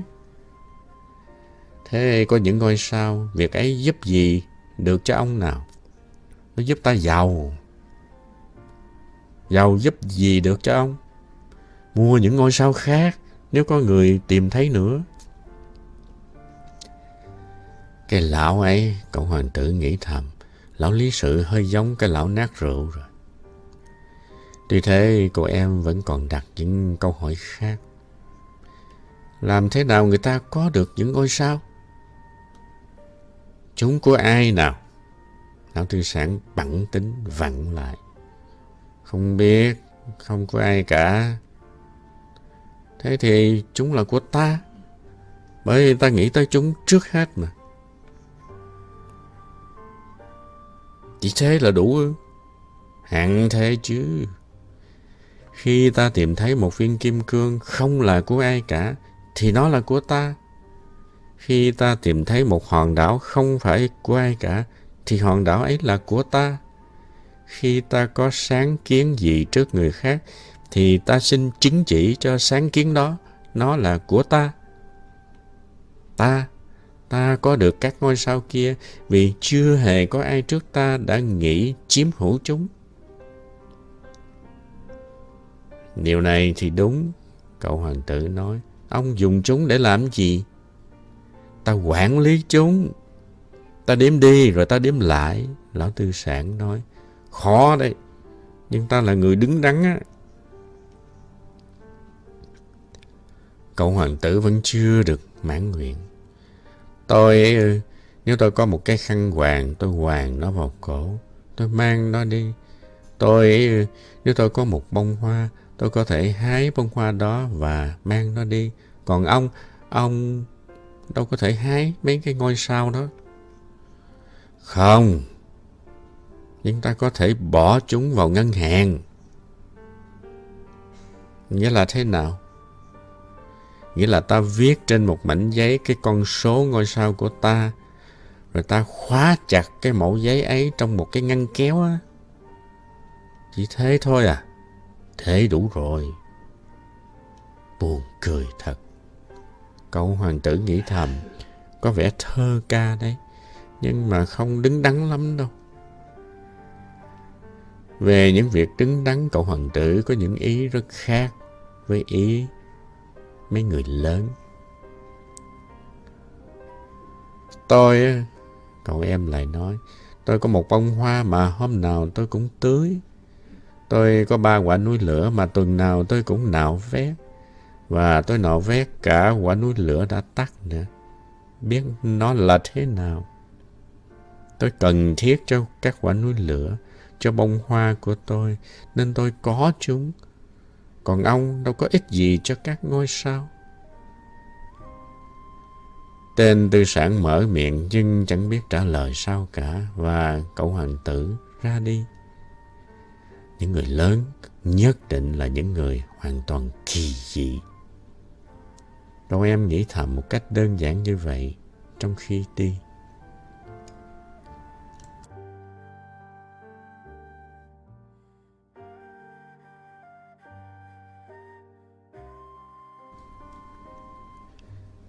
Hành tinh thứ năm rất kỳ lạ. Nó bé hơn tất cả các hành tinh. Ở đây chỉ đúng đủ chỗ cho một cái cây cột đèn và một người thắp đèn. Cậu hoàng tử nghĩ mãi không thể nào hiểu được tại sao. Đâu đó trong bầu trời, trên một hành tinh không nhà cửa, không dân cư, lại có một cái cột đèn và một người thắp đèn để làm cái chi nữa.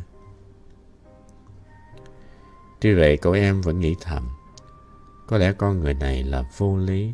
Tuy thế ông ta còn ít vô lý hơn là ông vua ít vô lý hơn gã khoác lác, ít vô lý hơn gã tư sản, ít vô lý hơn gã nát rượu.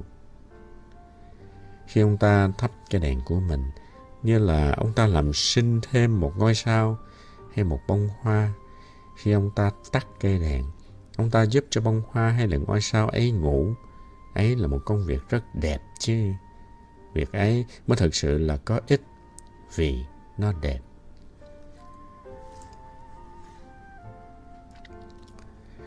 Khi đến gần hành tinh, cô em kính trọng chào người thắp đèn. Chào ông, tại sao ông vừa tắt đèn đi đó?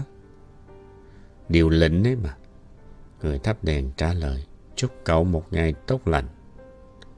Điều lệnh là cái gì vậy? Và ông ta thắp đèn lên trở lại. Nhưng tại sao ông vừa lại thắp đó? Điều lĩnh mà. Người thắp đèn trả lời. Tôi không hiểu. Cậu hoàng tử nói. Có gì mà hiểu.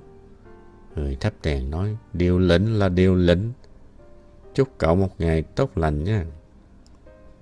Rồi ông ta tắt đèn.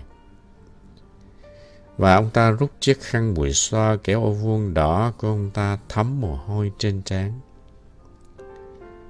Nghề của ta làm ở đây thiệt là kinh khủng. Xưa kia dễ chịu hơn. Sáng ta tắt, chiều ta thấp. Phần ngày còn lại ta nghỉ, phần đêm còn lại ta ngủ.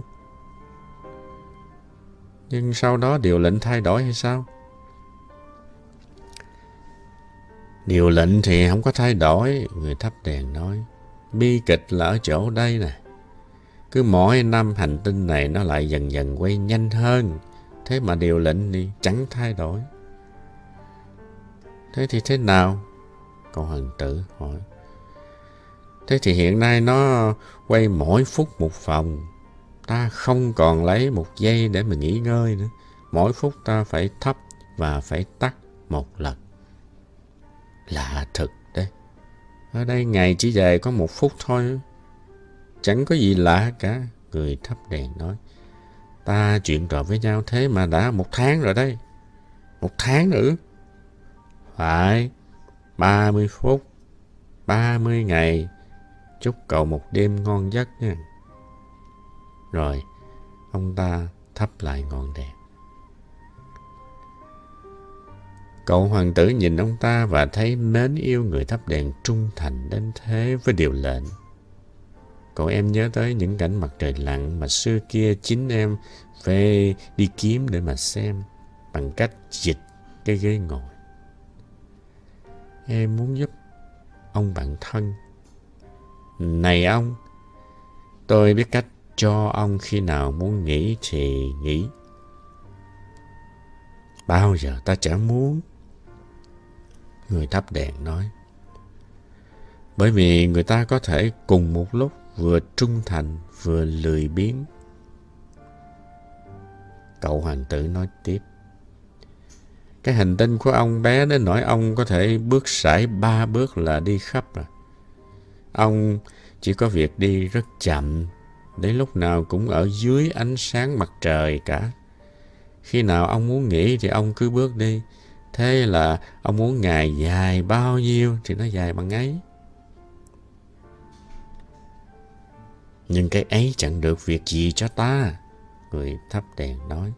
Cái ta thích nhất ở trên đời á, lại là ngủ cơ. Thế thì thật không may. Cậu hoàng tử nói. Thật không may. Người thắp đèn nói. Chúc cậu một ngày tốt lành. Rồi ông ta tắt cây đèn. Cái ông này, cậu hoàng tử nghĩ thầm trong lúc tiếp tục đi xa hơn nữa. Ông ta sẽ bị tất cả những người kia khinh. Ông vua, lão khoác lác, lão nát rượu, lão tư sản. Tuy thế, chỉ có ông ta là ta không thấy buồn cười. Có lẽ bởi vì ông ta lo toan cho một cái gì khác, chứ không phải là bản thân ông ta. Em thở dài, buồn, tiếc và lại nghĩ chỉ ông ấy là đáng cho mình kết làm bạn thân. Nhưng hành tinh của ông ta bé quá, chẳng thể ở được hai người. Điều mà cậu hoàng tử không thể thú nhận với mình ấy là em tiếc cái hành tinh thiên phúc này chủ yếu ở chỗ nó có 1410 lần mặt trời lặn trong 24 tiếng đồng hồ.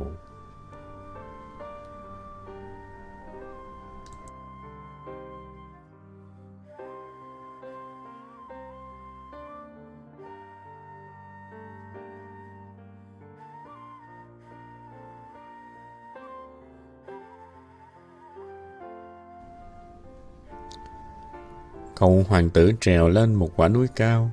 Trước nay những hòn núi cao độc nhất mà em biết chỉ là ba quả núi lửa ngang cái đầu gối của em.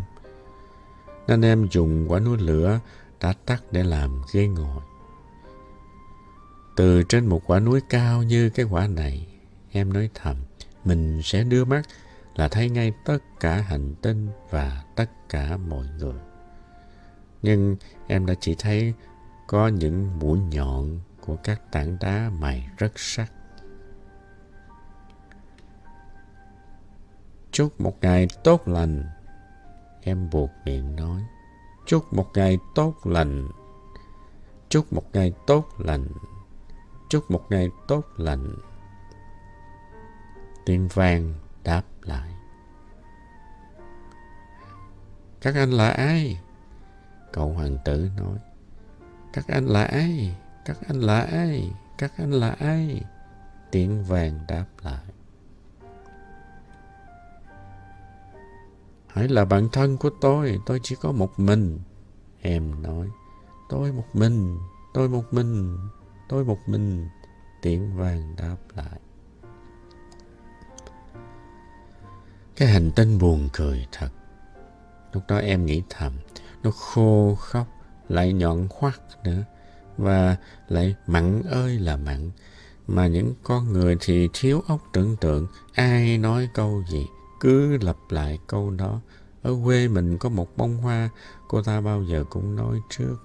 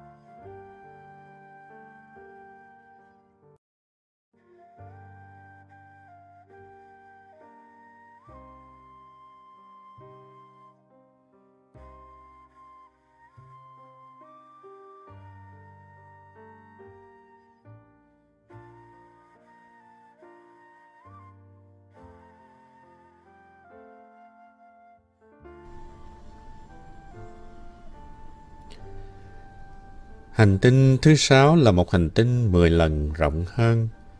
Ở hành tinh đó là một tôn ông đã già và viết được nhiều cuốn sách khổng lồ.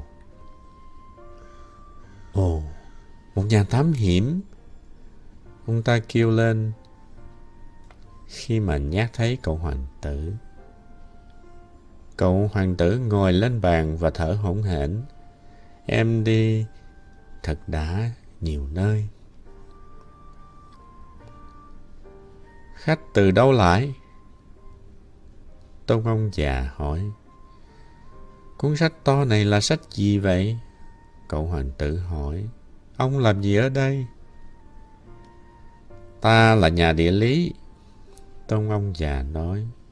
Nhà địa lý là người như thế nào? Đó là một nhà bác học biết rõ đâu là sông biển, núi non, thành phố và sa mạc. Thế thì thích thật đó. Cậu hoàng tử nói. Bây giờ ta mới gặp được một nghề thật là nghề. Rồi em đưa mắt nhìn cái hành tinh của nhà địa lý xung quanh em. Em chưa hề được thấy một hành tinh diễm lệ dường ấy. Đẹp quá! Cái hành tinh của ông, có đại dương không ông? Ta không rõ được. Nhà địa lý nói. Thế à? Cậu hoàng tử thất vọng còn núi non, ta không rõ được, nhà địa lý nói. Và các thành phố và các con sông và các bãi sa mạc, ta cũng không rõ được nốt, nhà địa lý nói. Ông là nhà địa lý cơ mà. Đúng, nhà địa lý nói, nhưng ta có là nhà thám hiểm đâu. Ta hoàn toàn thiếu các nhà thám hiểm giúp việc. Nhà địa lý không phải là người đi đếm các thành phố, sông biển, núi non, đại dương và sa mạc. Nhà địa lý quan trọng hơn nhiều lắm. Có thể đi nhớ được đâu. Nhà địa lý không thể rời cái bằng giấy của mình được. Bọn ta còn phải tiếp các nhà thám hiểm như chứ. Bọn ta hỏi và bọn ta ghi chép các kỷ niệm của họ chứ. Và nếu thấy kỷ niệm của một ai trong bọn họ, bọn thám hiểm ấy mà đáng chú ý, thì nhà địa lý sẽ cho điều tra về tư cách của nhà thám hiểm ấy chứ. Tại sao phải thế à? Bởi vì một nhà thám hiểm mà nói dối thì sẽ gây nên những tai họa trong các sách địa lý. Và cả nhà thám hiểm nào uống nhiều rượu quá nữa. Tại sao thế ạ? À? Cậu hoàng tử hỏi. Vì kẻ nát rượu cái gì cũng thấy thành đôi. Nhà thám hiểm mà như thế thì đáng lẽ chỉ có một dãy núi thôi. Ông ta ghi thành hai dãy. Thế thì tôi có biết một người nếu mà làm thám hiểm thì là thám hiểm tồi lắm. Cậu hoàng tử nói, có thể như thế đấy. Vậy nên khi tư cách của nhà thám hiểm xem thấy là tốt rồi, thì người ta điều tra về sự phát minh của anh ta. Người ta đi xem hay là sao? Không, đi thì phức tạp quá. Người ta chỉ đòi hỏi nhà thám hiểm phải cung cấp bằng chứng thôi. Ví dụ như tìm thấy một hòn đảo, một hòn núi lớn, thì người ta chỉ buộc phải mang về những tảng đá to. Nhưng nhà địa lý bỗng nhiên giọng xúc động. Nhưng mà khách là khách đến từ xa. Khách đúng là nhà thám hiểm rồi. Khách hãy tả cho ta cái hành tinh của khách đi. Rồi nhà địa lý sau khi đã mở cuốn sổ to liền gọt bút chì. Chuyện các nhà thám hiểm kể, đầu tiên người ta ghi bằng bút chì. Đợi cho nhà thám hiểm cung cấp bằng chứng rồi, người ta mới ghi lại bằng bút mực. Thế nào? Nhà địa lý hỏi. Ôi, quê tôi yêu, cậu hoàng tử nói. Chẳng có gì đáng chú ý lắm đâu, nó bé tí tẹo à. Tôi có ba quả núi lửa, hai quả hoạt động, một quả tắt. Nhưng ai biết nó thế nào? Không biết thế nào. Nhà địa lý nói, tôi cũng có một bông hoa. Bọn ta chẳng ghi nhận bông hoa đâu. Nhà địa lý nói, sao thế? Nó là thứ đẹp nhất kia mà. Bởi vì đời hoa ngắn ngủi lắm. Ngắn ngủi nghĩa là thế nào à? Các sách địa lý, nhà địa lý nói là quý nhất trong tất cả các loại sách. Chẳng bao giờ hết thời cả. Chẳng mấy khi một quả núi nó lại chuyển chỗ. Chẳng mấy khi một đại dương lại cạn nước. Bọn ta viết nên những điều vĩnh cửu. Xong những núi lửa đã tắt có thể thức dậy được. Cậu hoàng tử ngắt lời. Ngắn ngủi nghĩa là gì? Núi lửa tắt hay núi lửa thức đối với bọn ta cũng thế thôi. Nhà địa lý nói, cái ta kể tới đó là núi, núi không thay đổi. Nhưng ngắn ngủi nghĩa là gì? Cậu hoàng tử lặp lại. Suốt đời cậu em đã đặt ra một câu hỏi là không thể nào bỏ cuộc. Nghĩa là bị đe dọa sắp tới lúc chết đây. Cây hoa của tôi bị đe dọa, sắp phải chết ư?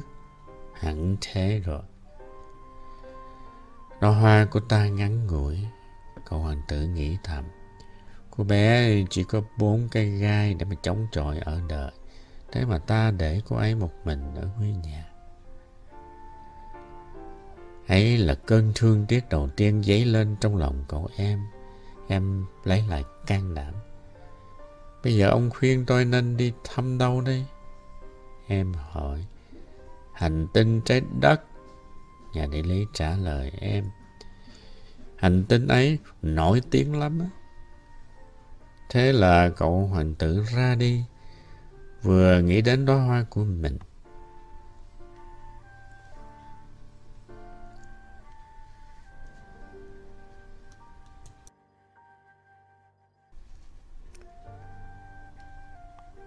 Vậy hành tinh thứ bảy là trái đất. Trái đất đâu có phải là một hành tinh soạn. Ở đây có tới 110 ông vua. Trong đó hiển nhiên ta không quên kể các ông vua đen. 7.000 nhà địa lý, 900.000 tên tư sản, 7 triệu rưỡi gã nát rượu, 310 triệu cha khoác lác, nghĩa là vào khoảng 2 tỷ rưỡi người lớn. Để các bạn có chút ý niệm về kích thước trái đất, tôi phải nói với các bạn rằng trước khi tìm ra được điện, trên cả sáu châu người ta phải nuôi để dùng như nuôi dùng cả một đạo quân thật sự 462.511 người đốt đèn. Nhìn xa xa một chút, cảnh đốt đèn đó thật đẹp. Các động tác của đạo quân này được điều chỉnh như trong một vở kịch ba lê. Trước tiên là phiên những người đốt đèn nước Tân Tây Lan và nước Úc. Sau đó đốt đèn xong họ đi ngủ. Tức thì đến lượt những người đốt đèn Trung Quốc và Siberia vào cuộc múa.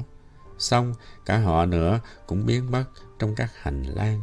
Lại đến lượt những người đốt đèn nước Nga và nước Ấn Độ rồi đến người châu Phi và châu Âu, rồi đến người Nam Mỹ, rồi đến người Bắc Mỹ, thế nhưng chẳng bao giờ họ vào ra sân khấu nhầm lẫn cả, cảnh tượng thật là huy hoàng. Chỉ có ông đốt cái đèn độc nhất ở Bắc Cực và ông đốt cái đèn độc nhất ở Nam Cực là sống cuộc đời lề mề, ăn không nằm rỗi. Hai ông ấy chỉ làm việc một năm có hai lần.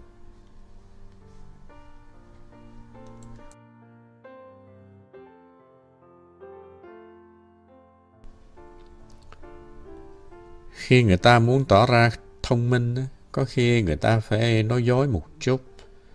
Tôi không thật thà lắm đâu khi kể với các bạn về những người đốt đèn.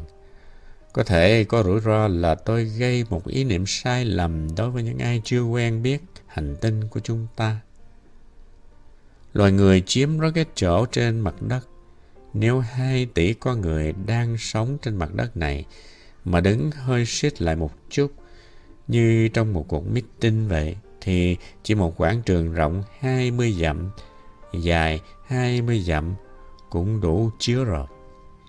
Trên hòn đảo bé nhất nào của Thái Bình Dương cũng có thể dồn đủ nhân loại được. Nói thế hẳn là những người lớn chẳng có ai tin ta đâu. Những người lớn nghĩ là họ chiếm được nhiều chỗ lắm đấy. Họ thấy họ quan trọng như là các cây bao báp ấy. Thế cho nên các bạn phải khuyên họ làm một cái bài tính đi. Họ quý chữ số lắm, việc ấy họ thích đấy. Nhưng bạn thì bạn không cần phí nhiều thì giờ vào cái hình phạt này đâu. Không cần. Bạn vẫn tin tôi mà. Cậu hoàng tử một khi đáp xuống đất rất kinh ngạc vì chẳng trông thấy người nào. Em đã bắt đầu sợ, cho là mình nhầm hành tinh rồi. Vừa lúc một cái vòng màu ánh sáng trắng động đậy trong cát. Chào ban đêm, cậu hoàng tử buộc miệng nói. Chào ban đêm, con rắn nói. Tôi rơi trên hành tinh nào vậy? Cậu hoàng tử hỏi. Trên trái đất ở châu Phi. Con rắn trả lời. Thế trên trái đất không có người nào ư? Đây là sa mạc mà. Chẳng có ai trên sa mạc đâu. Trái đất rộng lắm. Rắn nói. Cậu hoàng tử ngồi trên một tảng đá và ngửa mặt lên trời. Có phải những ngôi sao được thắp sáng là để mỗi người một ngày kia trở về được ngôi sao của mình không? Đằng ấy hãy nhìn xem cái hành tinh của tớ nè. Nó ở ngay bên trên ta. Nhưng nó lại xa thế. Nó đẹp nhỉ? Rắn nói. Nhưng cậu làm gì mà tới đây? Mình với một bông hoa. Chúng mình sống không ổn thỏa lắm. Cậu hình tử nói. Ra thế. Rắn nói. Và cái lặng thinh. Loài người ở đâu? Cậu hoàng tử lại nói tiếp. Trong sa mạc hơi bơ vơ ấy. Ngay giữa loài người cũng bơ vơ. Rắn nói. Cậu hoàng tử nhìn rắn rất lâu. Đằng ấy là một con vật buồn cười thật. Em nói, mảnh khảnh cứ như một cái ngón tay ấy. Nhưng tớ lại mạnh hơn ngón tay của một ông vua ấy. Rắn nói, cậu hoàng tử mỉm cười. Đằng ấy không mạnh lắm đâu, đến chân đằng ấy cũng chả có, đi đây đi đó đằng ấy cũng chả đi được. Tớ có thể chở cậu đi xa hơn tàu thủy cơ, rắn nói. Rắn quấn quanh mắt cá của cậu hoàng tử trông giống một chiếc vòng vàng. Tới mà chạm vào kẻ nào là tới cho hắn ta trở về ngay với đất là nơi hắn chui ra ấy. Còn cậu, cậu trong sạch và cậu từ một ngôi sao tới. Cậu hoàng tử không nói gì. Cậu làm cho tới mũi lòng. Cậu yếu đuối thế kia trên trái đất đá hoa cương này. Nếu cậu tiếc quá cái hành tinh của cậu, một hôm nào đó rồi tớ sẽ giúp cậu. Tớ có thể... Ồ, tớ hiểu biết. Cậu hoàng tử nói. Nhưng sao đằng ấy lúc nào cũng à, nói hiểm hóc vậy? Mọi điều hiểm hóc, tớ đều giải hết. Rắn nói. Và họ lặng thinh.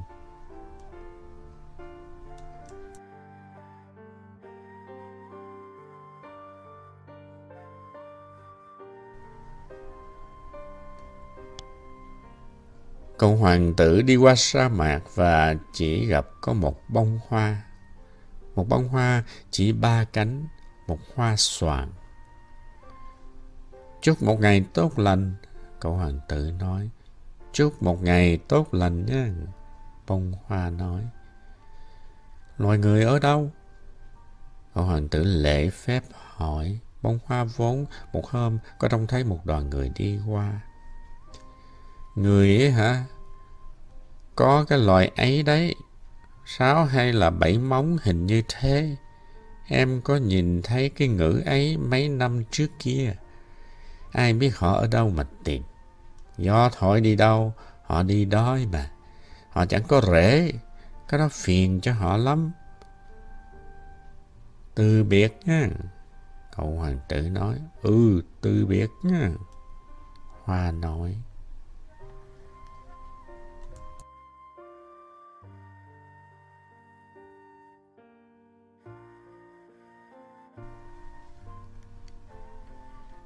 Nhưng cậu hoàng tử đi đã lâu qua các bãi cát, qua đá, qua tuyết, bỗng sau cùng tìm thấy một con đường. Và mọi con đường đều đưa đến nơi có người.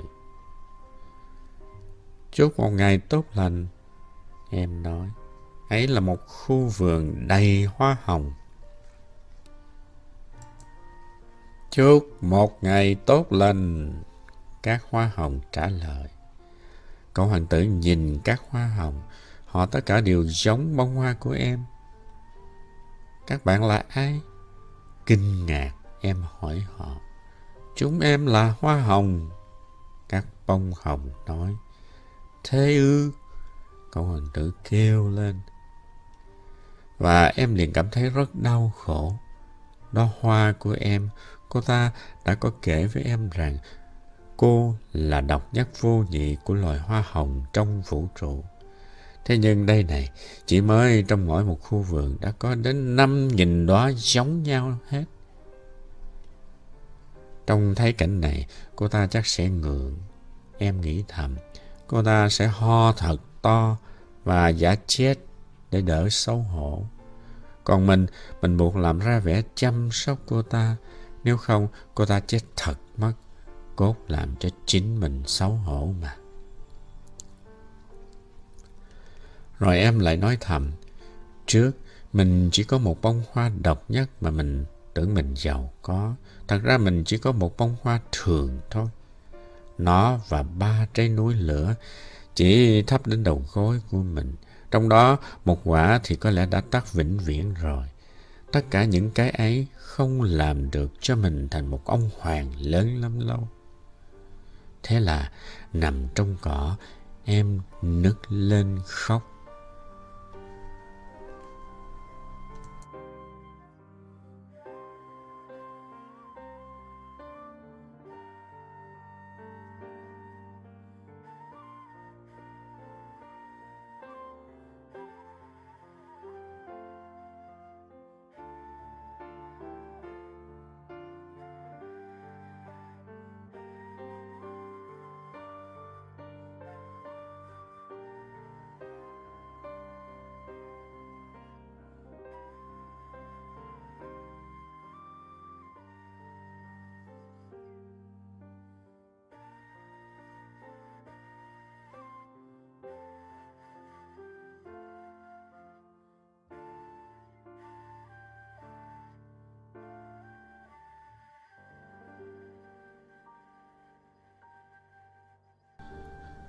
Thế rồi một con cáo xuất hiện. Xin chào. Con cáo nói. Xin chào. Hoàng tử bé lịch sự trả lời rồi quay người lại, nhưng không nhìn thấy gì. Mình ở đây, giọng nói vang lên, dưới cây táo. Bạn là ai? Hoàng tử bé hỏi. Bạn dễ thương quá.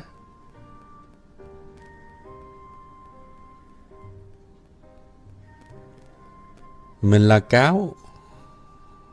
Con cáo trả lời. Lại đây chơi với mình đi. Hoàng tử bé đề nghị nó. Mình buồn quá. Mình không thể chơi với bạn được. Con cáo nói. Mình chưa được cảm hóa. À, xin lỗi. Hoàng tử bé thốt lên. Nhưng sực nhớ ra cậu hỏi lại. Cảm hóa nghĩa là gì? Bạn không phải là người ở đây. Con cáo nói, bạn đi tìm gì vậy? Mình đi tìm con người. Hoàng tử bé nói, cảm hóa nghĩa là gì? Con người. Con cáo nói, họ có súng và họ đi săn. Thật là phiền toái. Họ còn nuôi gà nữa. Đó là chuyện được nhất ở họ.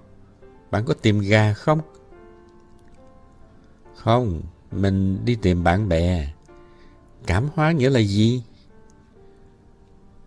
Đó là thứ bị lãng quên lâu lắm rồi. Nó có nghĩa là làm cho gần gũi hơn. Làm cho gần gũi hơn? Chứ sao? Con cáo lên giọng. Bạn đối với mình mới chỉ là một cậu bé giống như cả trăm nghìn cậu bé. Và mình không cần đến bạn. Còn bạn cũng chẳng cần đến mình. Mình đối với bạn chỉ là một con cáo giống như cả trăm nghìn con cáo. Nhưng nếu bạn mà cảm hóa mình, tụi mình sẽ cần đến nhau. Lúc đó bạn đối với mình sẽ là duy nhất trên đời. Mình đối với bạn sẽ là duy nhất trên đời.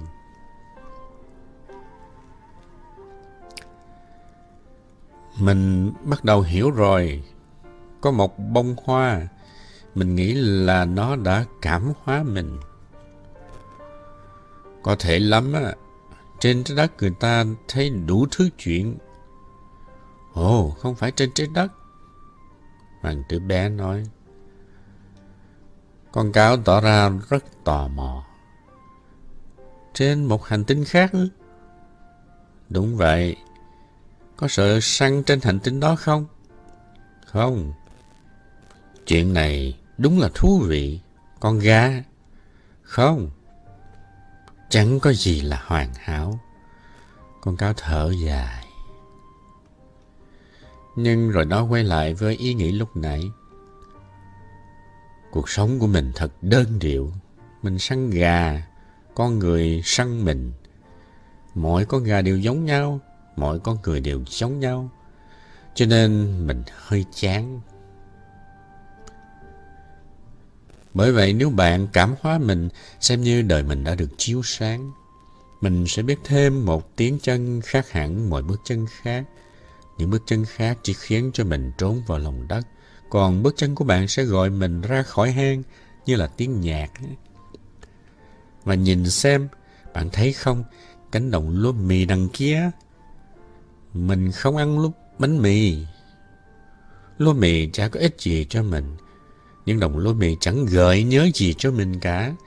Mà như vậy thì buồn quá. Nhưng bạn có mái tóc vàng ống. Nếu bạn cảm hóa mình thì thật là tuyệt vời. Lúa mì vàng ống ả sẽ làm cho mình nhớ đến bạn. Và mình sẽ thấy thích tiếng gió trên đồng lúa mì. Con cáo ngừng lời và nhìn hoàng tử bé chăm chú. Nó nói, bạn làm ơn cảm hóa mình đi. Mình muốn lắm. Hoàng tử bé trả lời, nhưng mình không có thời gian. Mình còn phải đi kiếm bạn bè và tìm hiểu nhiều thứ. Người ta chỉ hiểu những gì họ đã cảm hóa. Nếu muốn có một người bạn, hãy cảm hóa mình đi. Cần phải làm sao? Hoàng tử bé hỏi. Cần phải rất kiên nhẫn. Con cáo trả lời. Trước tiên, bạn ngồi xa mình một chút như thế, trên cỏ. Mình sẽ liếc nhìn bạn, còn bạn thì không nói gì cả. Lời nói là nguồn gốc của mọi sự hiểu lầm. Nhưng mỗi ngày, bạn có thể ngồi xích lại gần hơn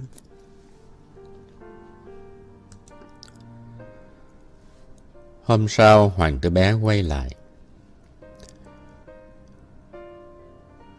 Tốt nhất là bạn nên quay lại vào cùng giờ giấc. Con cáo nói, chẳng hạn nếu bạn đến lúc 4 giờ chiều, thì từ 3 giờ mình đã bắt đầu thấy hạnh phúc. Thời giờ càng trôi qua mình lại càng hạnh phúc hơn. Cho tới 4 giờ, mình sẽ trở nên bồn chồn và lo lắng. Mình sẽ khám phá ra cái giá của hạnh phúc. Nhưng nếu bạn đến bất kỳ lúc nào, mình sẽ không biết giờ giấc để sửa soạn trái tim. Cứ thế, hoàng tử bé cảm hóa con cáo. Khi gần đến lúc phải ra đi, con cáo nói, À, mình sẽ khóc mất. Lỗi do bạn đó. Hoàng tử bé nói, mình không muốn làm bạn đau lòng chút nào, nhưng bạn lại muốn mình cảm hóa bạn. Tất nhiên rồi. Con cáo nói, nhưng bạn sẽ khóc. Hoàng tử bé nói, tất nhiên rồi. Con cáo nói, vậy thì bạn chẳng được gì cả. Mình được chứ. Con cáo nói, bởi vì còn có màu lúa mì. Sau đó nó nói thêm, hãy thăm lại vườn hoa hồng đi. Bạn sẽ hiểu rằng bông hoa của bạn là duy nhất trên đời. Rồi khi bạn quay lại vĩnh biệt mình, mình sẽ tặng bạn một bí mật làm quà. Hoàng tử bé đi thăm lại vườn hoa hồng. Các bạn chẳng giống bông hồng của tôi chút nào. Các bạn chưa là gì cả. Cậu nói với chúng, chẳng ai cảm hóa các bạn và các bạn chẳng cảm hóa ai. Các bạn giống như bạn cáo của tôi ngày trước. Hồi đó bạn ấy chỉ là một con cáo như cả trăm ngàn con khác. Nhưng tôi đã biến bạn ấy thành bạn của tôi và bây giờ bạn ấy trở thành duy nhất trên đời. Các bông hoa nghe vậy rất đấy làm bực dọc. Các bạn đẹp nhưng các bạn trống rỗng. Cậu nói tiếp với chúng. Chẳng ai muốn chết vì các bạn. Còn bông hoa của tôi, dĩ nhiên người bình thường đi qua có thể tưởng rằng bạn ấy sống như các bạn. Nhưng chỉ một mình bạn ấy mà còn quan trọng hơn tất cả các bạn ở đây bởi vì chính bạn ấy đã được tôi phun tưới. Bởi vì chính bạn ấy đã được tôi đặt vào lòng kính. Bởi vì chính bạn ấy đã được tôi che chở bằng tấm chắn gió. bởi vì chính bằng ấy đã được tôi bắt sâu trừ hai ba con để trở thành bươm bướm. Bởi vì chính bạn ấy đã khiến tôi nghe phàn nàn, hoặc khoe khoang, hoặc cũng có khi im lặng, bởi vì đó là bông hồng của tôi.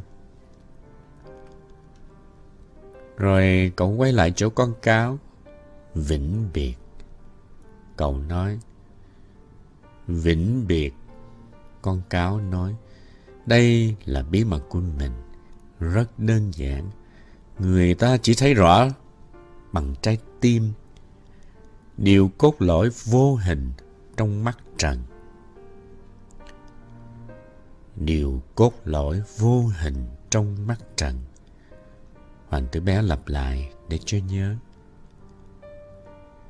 Chính thời gian mà bạn bỏ ra cho bông hồng của bạn đã khiến bông hồng của bạn trở nên quan trọng đến thế. Chính thời gian mà mình bỏ ra cho bông hồng của mình. Hoàng tử bé lặp lại để cho nhớ. Con người đã quên mất sự thật này. Con cáo nói. Nhưng bạn thì không được quên. Bạn có trách nhiệm mãi mãi với những gì bạn đã cảm hóa. Bạn có trách nhiệm với bông hồng của bạn. Mình có trách nhiệm với bông hồng của mình. Hoàng tử bé lặp lại để cho nhớ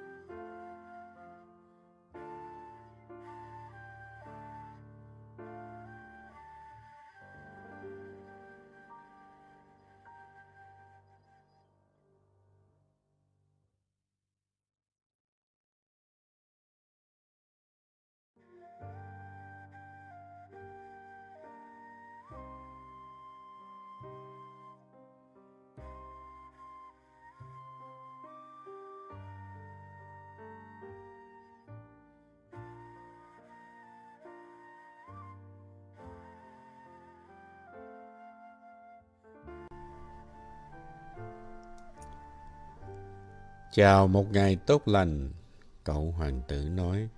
Chào một ngày tốt lành, người gác chi nói. Ông làm gì ở đây? Cậu hoàng tử hỏi. Ta xếp hành khách thành từng gói nghìn người một. Người gác ghi nói. Ta cho phóng đi, lúc bên phải, lúc về bên trái, những chuyến tàu chở các gói ấy.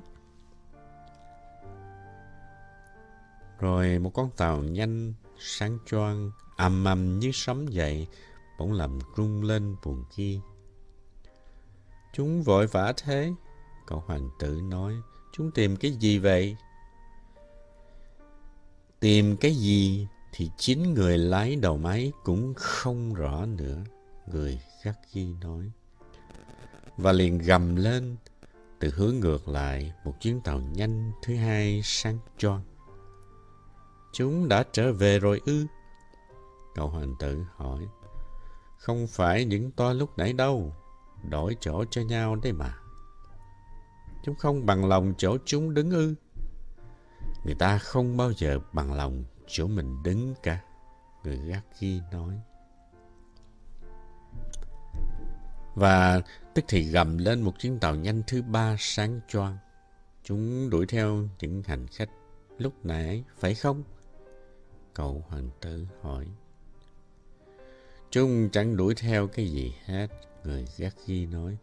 Người ta ngủ ở trong đó hay người ta ngáp, chỉ có những đứa trẻ là dí đến bẹp mũi vào cửa kính thôi. Chỉ có những đứa trẻ biết là mình tìm cái gì. Cậu hoàng tử nói. Chúng mất thì giờ vì một con búp bê bó bằng trẻ và con búp bê ấy trở nên quan trọng lắm. Ai lấy đi của chúng, chúng sẽ khóc. Chúng thật may mắn, cười gắt ghi nói.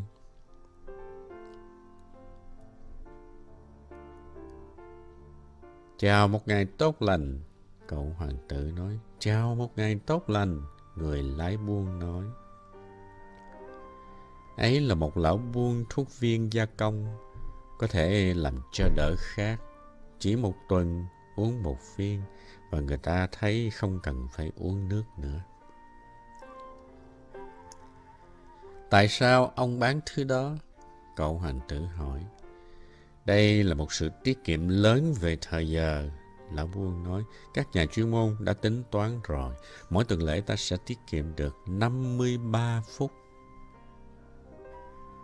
Thế người ta dùng để làm gì 53 phút ấy? Muốn làm gì thì làm. Mình e, cậu hoàng tử nghĩ thầm, nếu mình có 53 phút ấy để mà tiêu phí, mình sẽ rón rén tìm đến một cái vòi nước.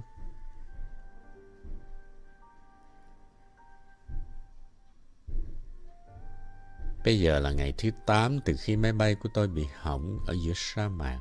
Và câu chuyện này về người lái buôn tôi vừa nghe vừa nuốt giọt nước dự trữ cuối cùng của tôi. Ôi chào, tôi nói với cậu hoàng tử, các kỷ niệm của em thật là đẹp. Nhưng anh vẫn còn chưa chữa được máy bay của anh. Anh chẳng còn tí gì để uống nữa. Anh, anh cũng thèm được rón rén bước tới một vòi nước. Thằng bạn cáo của tôi, em nói. Cậu nhỏ ạ, à, trồn cáo gì nữa lúc này? Sao thế? Ta sắp chết khác rồi kia mà. Cậu em không hiểu lý lẽ viện ra của tôi. Em trả lời tôi. Có được một đứa bạn thân là tuyệt chứ. Cho dẫu ta sắp chết cũng vẫn là tuyệt. Tôi, tôi rất thú vị được có một bạn thân là cáo. Cậu em không lường được hiểm nguy, tôi nghĩ thầm. Em không hề bị đói và bị khát, chỉ một ít mặt trời cũng đủ cho em rồi. Nhưng em nhìn tôi, trả lời đúng vào điều tôi vừa nghĩ. Tôi cũng đang khát, ta đi tìm một cái giếng đi. Tôi có một cử chỉ mệt mỏi. Trong mênh mang của sa mạc, đi vất vơ vất vưởng kiếm một cái giếng thật là chuyện vô lý. Tuy thế, chúng tôi vẫn đi. Khi chúng tôi bước lặng thinh, không biết đã bao nhiêu giờ, bóng đêm bỗng đổ xuống và các ngôi sao bắt đầu sáng lên. Tôi nhìn thấy trời sao như tưởng mình đang mê, vì khát cho nên tôi có hơi sốt. Những lời cậu hoàng tử nói cứ nhảy múa trong trí nhớ tôi. Em cũng khác ư, em? Tôi hỏi em, nhưng em không trả lời câu tôi hỏi. Em chỉ nói, nước cũng có thể tốt lành đối với lòng ta. Câu em đáp, tôi không hiểu, nhưng tôi nín thinh. Tôi biết là không nên hỏi em. Em có vẻ nhọc Em ngồi xuống, tôi ngồi xuống cạnh em và sau một lát im lặng, em lại nói. Các ngôi sao sở dị đẹp là do ở đó có một bông hoa mà ta không nhìn thấy. Tôi đáp lại, đúng thế, và không nói gì nữa. Tôi nhìn cát như sóng gợn dưới ánh trăng. Sa mạc đẹp thật, em nói thêm. Và thật thế, tôi vẫn yêu sa mạc. Ta ngồi trên một đụng cát, ta không trông thấy gì hết, ta không nghe thấy gì hết, thế nhưng trong lặng lẽ vẫn có một cái gì đó lóe sáng. Cái làm cho sa mạc càng thêm đẹp, cậu hoàng tử nói, ấy là ở chỗ nó ẩn giấu một cái giếng ở một nơi nào đó. Tôi kinh ngạc vì bỗng nhiên hiểu ra cái lóe sáng huyền bí ấy của cát. Khi còn là đứa con trai bé nhỏ ở một ngôi nhà cổ và có truyền thuyết là ở ngôi nhà cổ này có chôn một kho báu. Tất nhiên, chưa có ai biết cách tìm ra kho báu đó. Có lẽ cũng chưa ai thử đi tìm. Nhưng cái kho báu ấy nó làm cho cả ngôi nhà trở nên thần tiên. Cái nhà của tôi có giấu trong đáy trái tim của nó một điều bí mật. Phải, Tôi nói với cậu hoàng tử, ngôi nhà hay ngôi sao hay sa mạc, cái làm cho những cái ấy trở nên đẹp, cái đó không thể nhìn thấy đâu. Em thích lắm, em nói, vì ông cũng đồng ý với bản cáo của em. Cậu hoàng tử chợp mắt ngủ, tôi bế em lên vòng tay tôi và lại lên đường. Lòng tôi xúc động. Tôi có cảm giác như đang ôm trong tay một kho báu mong manh. Tôi có cảm giác như trên mặt đất này không có gì mong manh hơn. Nhờ ánh sáng trăng, tôi nhìn thấy vầng trán nhợt nhạt ấy. Đôi mắt nhắm nghiền, cắt lẳng tóc rung rẩy trước gió. Và tôi nghĩ thầm. Cái mà ta thấy đây chỉ là cái vỏ. Cái quan trọng nhất thì không nhìn thấy được.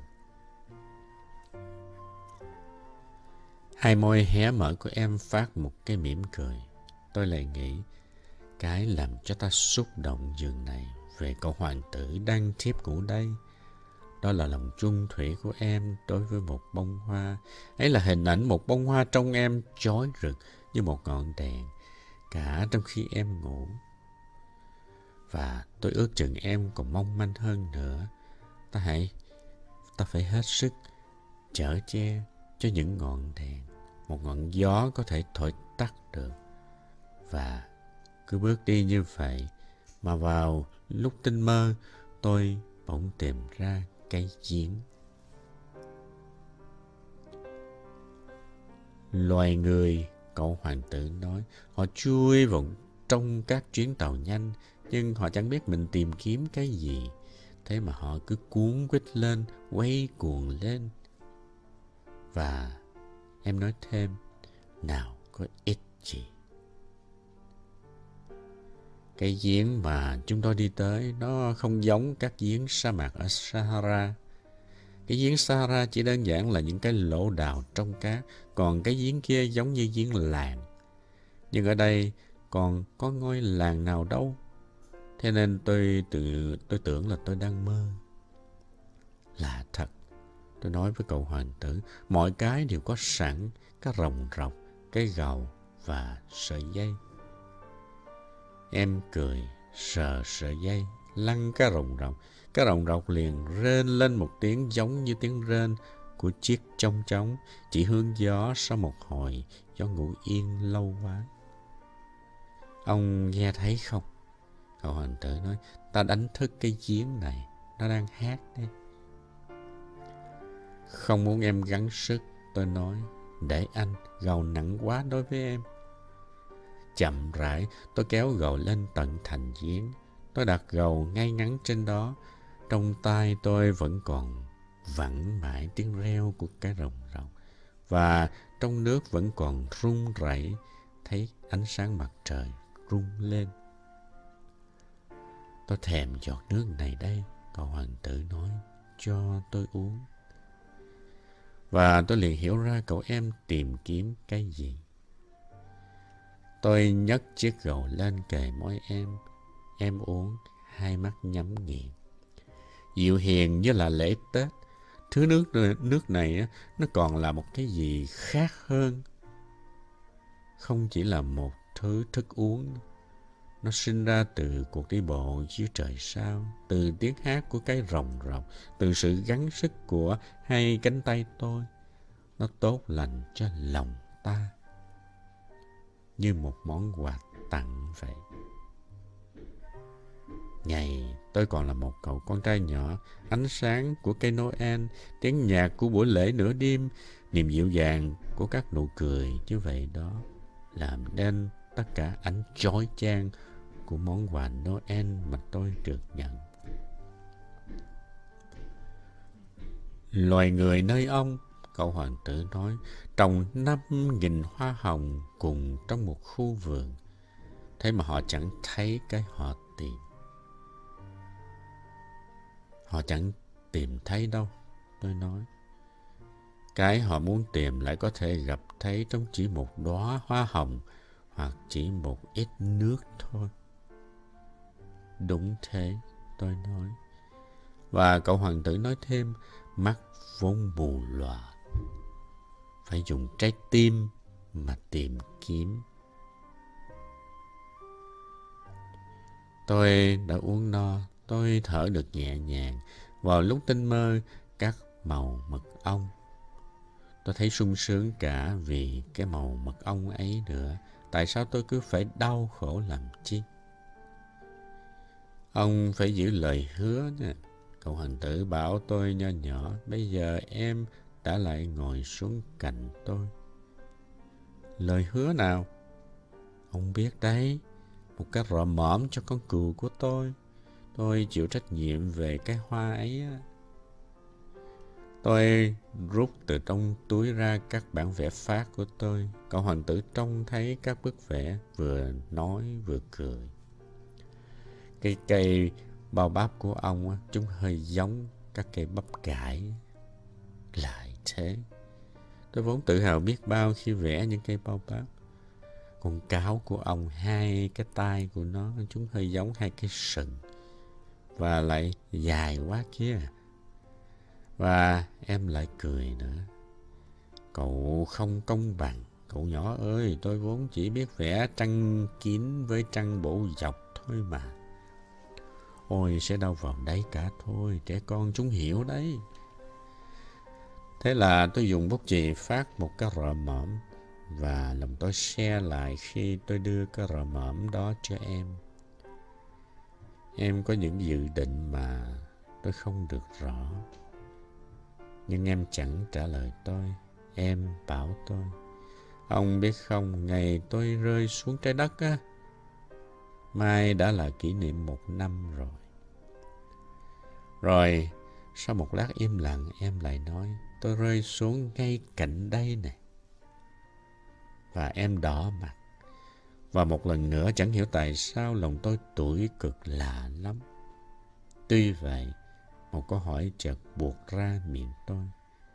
Thế ra không phải ngẫu nhiên mà buổi sáng ấy tôi gặp em cách đây 8 ngày.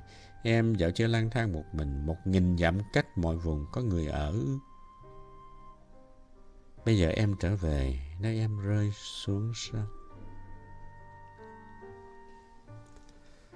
Cậu hoàng tử lại đỏ mặt, và tôi nói ngập ngừng, vì ngày kỷ niệm có lẽ thế chắc. Cậu hoàng tử đỏ mặt nữa, em không bao giờ trả lời các câu hỏi, nhưng khi người ta đỏ mặt như thế có nghĩa là phải, phải không? Ôi, tôi nói, tôi sợ. Nhưng em trả lời tôi. Bây giờ ông phải làm việc thôi. Ông phải trở về chỗ cái máy của ông. Tôi đợi ông ở đây. Chiều mai ông hãy đến. Xong tôi không yên tâm. Tôi nhớ chuyện con cáo. Khi ta để ai làm cho ta thân quen. Thế nào cũng có nguy cơ là ta có thể khóc một tí.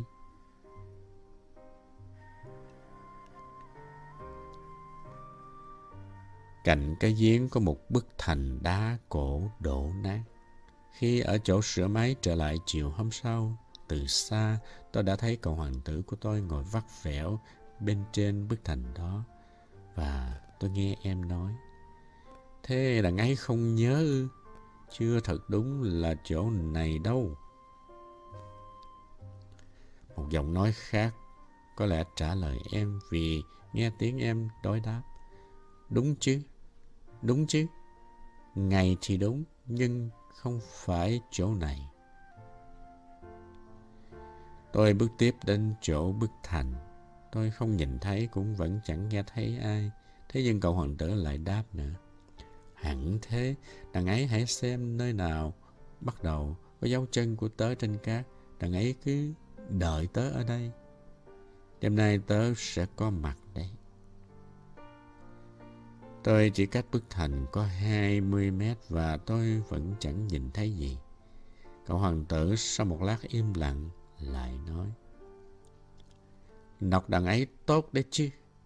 Đằng ấy chắc là chẳng làm tớ khổ lâu chứ.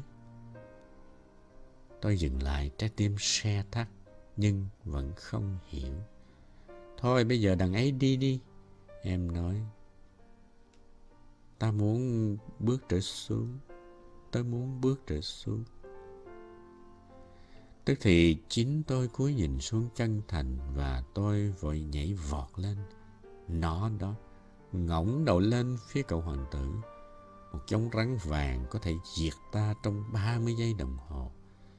Vừa lục túi tìm khẩu súng ngắn tôi vừa bước sải Nhưng nghe tiếng động của tôi con rắn liền chùi trong cát Như thể một dòng nước cặn sót Và chẳng lấy làm vội vàng Nó luồn lách giữa các tảng đá. Tiếng nó bò nghe hơi lanh canh như tiếng kim khí. Tôi đến bên bức thành vừa đúng lúc Để đón trong vòng tay cờ tôi. Cậu hoàng tử nhỏ trắng bệt như là tuyết vậy. Lại thế nữa, bây giờ em lại đi chuyện trò với rắn. Tôi tháo chiếc khăn vàng kim bao giờ em cũng hoàng ở cổ. Tôi đã dắp nước vào hai thái dương em và cho em uống. Và bây giờ chính tôi không dám hỏi em điều gì. Em nhìn tôi nghiêm nghị và đưa hai tay ôm cổ tôi. Tôi nghe tiếng tim em đập như tiếng đập của trái tim một con chim sắp chết khi trúng đạn săn. Em bảo tôi. Tôi sung sướng lắm, vì biết ông đã rõ máy bay của ông đang thiếu cái gì. Rồi ông sẽ trở về được nhà ông. Làm thế nào em biết thế? Đúng là lúc ấy tôi vừa định báo cho em biết, Tưởng tuyệt vọng rồi, Hóa ra tôi đã sửa được máy Em chẳng trả lời sao về câu hỏi, Nhưng lại nói thêm, Tôi cũng như ông, Hôm nay tôi về nhà tôi rồi giọng ngậm ngùi, Nhà tôi ở xa hơn nhiều, Đi khó hơn nhiều Tôi có cảm giác vừa xảy ra một việc gì, dị thường Tôi siết chặt em trong vòng tay như thường người ta siết chặt một em bé. Nhưng tôi vẫn có cảm giác em đang chùi thẳng đứng xuống một vực thẳm nào đó. Và tôi không làm cách nào giữ em lại được. Mắt em nghiêm nghị, đắm đắm nhìn về một nơi nào xa lắm. Tôi đã được ông cho con cừu. Tôi lại có cái hòm cho cừu. Tôi lại có chiếc rọ mỏng và em mỉm cười, có vẻ hơi buồn. Tôi đợi rất lâu, tôi có cảm giác là em dần dần ấm lên. Cậu em à, cậu có hơi sợ. Em có sợ, đúng rồi, nhưng em cười khẽ. Chiều nay em còn sợ nhiều nữa cơ. Một lần nữa tôi lại cảm thấy người giá lạnh vì một cái gì đó không thể cứu vãn được nữa. Và tôi hiểu rằng ấy là ý nghĩ rồi đây không bao giờ còn nghe thấy tiếng cười này. Đó là điều tôi không chịu được. Tiếng cười ấy của em đối với tôi giống như một cái giếng nước trong sa mạc. Cậu em à, tôi cũng muốn được nghe em cười. Nhưng em bảo tôi, đêm nay vừa đúng một năm, ngôi sao của tôi sẽ lại ở đúng bên trên chỗ tôi rơi xuống năm ngoái. Cậu em à, chuyện rắn, chuyện hẹn gặp, chuyện ngôi sao này có phải chỉ là mộng dữ không? Nhưng em không trả lời câu tôi hỏi. Em bảo tôi, cái gì mà quan trọng, cái đó không thấy được đâu. Đúng thế. Giống như bông hoa của tôi. Khi ông yêu một bông hoa mà bông hoa ấy lại ở trên một ngôi sao ban đêm. Khi ông nhìn trời, Ông thấy lòng dịu dàng lắm Toàn thể các ngôi sao đều nở hoa Đúng thế Nước cũng thế Vóc nước Ông cho tôi uống ấy Nó như là nhạc vậy Nhờ cái rồng rọc và sợi dây Ông nhớ chứ Ngon lành thật Đúng thế Đêm ông sẽ nhìn sao Nhà tôi bé tí teo cho nên Tôi không thể chỉ cho ông đâu là ngôi sao của tôi được Thế có lẽ lại tốt hơn. Ngôi sao của tôi đối với ông sẽ là một trong các ngôi sao kia. Như thế, tất cả các ngôi sao ông đều sẽ thích nhìn. Tất cả các ngôi sao sẽ là bạn thân của ông. Và rồi tôi biếu ông một món quà. Em lại cười lên nữa. Ôi, em ơi, em ơi, tôi thích nghe em cười như thế này biết mấy. Đúng, đó là món quà tôi biếu ông. Như nước vậy mà. Em muốn nói sao? Mọi người có những ngôi sao, không của ai giống của ai. Đối với một số ưa thích đi xa, các ngôi sao là những kẻ dẫn đường.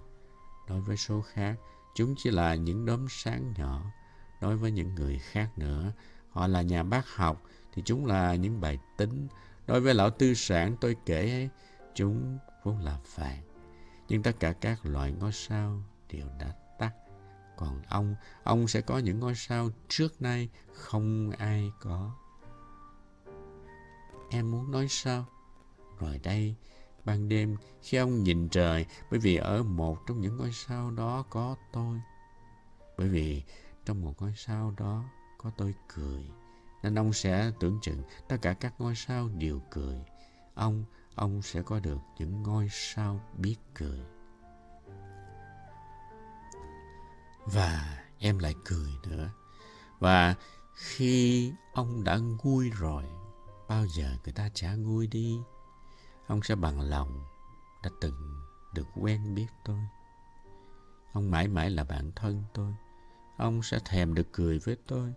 Rồi đến khi ông mở cửa sổ nhà ông, tự nhiên thích mở thế thôi. Các bạn hữu của ông sẽ lấy làm lạ. Thấy ông vừa nhìn trời vừa cười. Ông sẽ bảo họ, phải, các ngôi sao, lúc nào chúng cũng làm cho mình cười. Và họ sẽ tưởng là ông điên. Tôi đùa ghẹo ông, thế đấy. Rồi em lại cười nữa. Như là đáng lẽ phải cho ông những ngôi sao, tôi lại đưa cho ông hàng đống những cái chuông nhỏ biết cười. Rồi em lại cười nữa, và bỗng trở lại nghiêm nghị. Đêm nay, ông à, ông đừng đến. Tôi sẽ không rời em đâu. Hình như tôi ốm, tôi hơi có vẻ sắp chết. Thế thôi mà, ông đừng đến, nhìn trong cảnh đó không cần đâu. Tôi sẽ không rời em. Nhưng em có vẻ lo lắng. Tôi nói với ông cái này, cũng tại con rắn đây. Chớ để rắn nó cắn ta. Loài rắn ác lắm. Chúng lại có thể vì thích mà cắn. Tôi sẽ không rời em đâu. Nhưng có cái gì đó làm em yên tâm trở lại. Xong đúng là đến lần cắn thứ hai thì chúng chẳng còn nọc nữa đâu. Đêm ấy khi em lên đường, tôi không nhìn thấy, em đã lặng lẽ trốn đi. Khi tôi theo kịp em, em bước nhanh, cả quyết. Em chỉ nói với tôi, Ôi, ông thế ư? Rồi em cầm tay tôi, nhưng em lại dằn vặt nữa.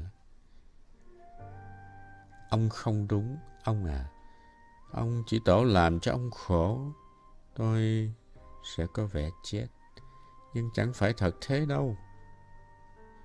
Còn tôi, tôi nín thinh. Ông biết không, xa lắm. Tôi không lê cái thân xác này về được, nặng lắm. Tôi, tôi nín thinh. Nhưng nó sẽ cũng chỉ như một cái vỏ già lột ra, vứt bỏ. Những cái vỏ già thì có gì đáng buồn. Tôi, tôi nín thinh. Em có hơi nản, nhưng em có vẻ lại gắng sức một lần nữa. Sẽ hay lắm chứ, ông. Tôi cũng sẽ nhìn các ngôi sao. Tất cả các ngôi sao sẽ là những cái giếng với một cái rồng rọc cót két. Tất cả mọi ngôi sao sẽ rót cho tôi uống. Tôi, tôi nín thinh sẽ thích biết bao nhiêu. Ông sẽ có 500 triệu chiếc chuông nhỏ, còn tôi 500 triệu vòi nước uống. Nhưng bỗng em cũng nín thinh bởi vì em khóc. Chỗ này, Ông để tôi bước tới một bước, một mình tôi thôi. Nhưng em bỗng ngồi xuống vì em sợ. Em lại nói nữa, ông biết đấy, bông hoa của tôi, tôi chịu trách nhiệm về cô ấy. Cô ấy yếu đuối nhường ấy, cô ấy thơ ngây nhường ấy. Để tự bảo vệ trên đời, cô chỉ có bốn cái gai, có nghĩa lý gì đâu. Tôi ngồi xuống, vì không thể đứng được nữa. Em nói, chuyện chỉ có thế thôi mà. Em lưỡng lự một chút rồi ngẩng lên. Em bước một bước. Còn tôi rầu rĩ, không thể nào cử động được. Chỗ mắt cá của em chỉ thấy có một thoáng chớp màu vàng. Em đứng một lúc không động đậy.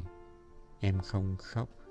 Em bỗng ngã xuống từ từ như một cái cây đổ mà cũng chẳng có một tiếng động nào vì bên dưới là cát. Và giờ đây đúng vậy, sáu năm đã trôi qua. Tôi vẫn chưa kể câu chuyện này. Những bạn bè gặp lại tôi rất lấy làm thích tôi còn sống mà trở về. Tôi buồn và tôi nói với họ mình mệt đấy thôi. Bây giờ tôi đã nguôi nguôi, nghĩa là không hẳn là như thế. Nhưng tôi biết cậu em đã trở về cái hành tinh của mình vì tinh mơ hôm sau tôi đã không còn thấy thân xác em. Thân xác ấy nào có nặng gì cho cam.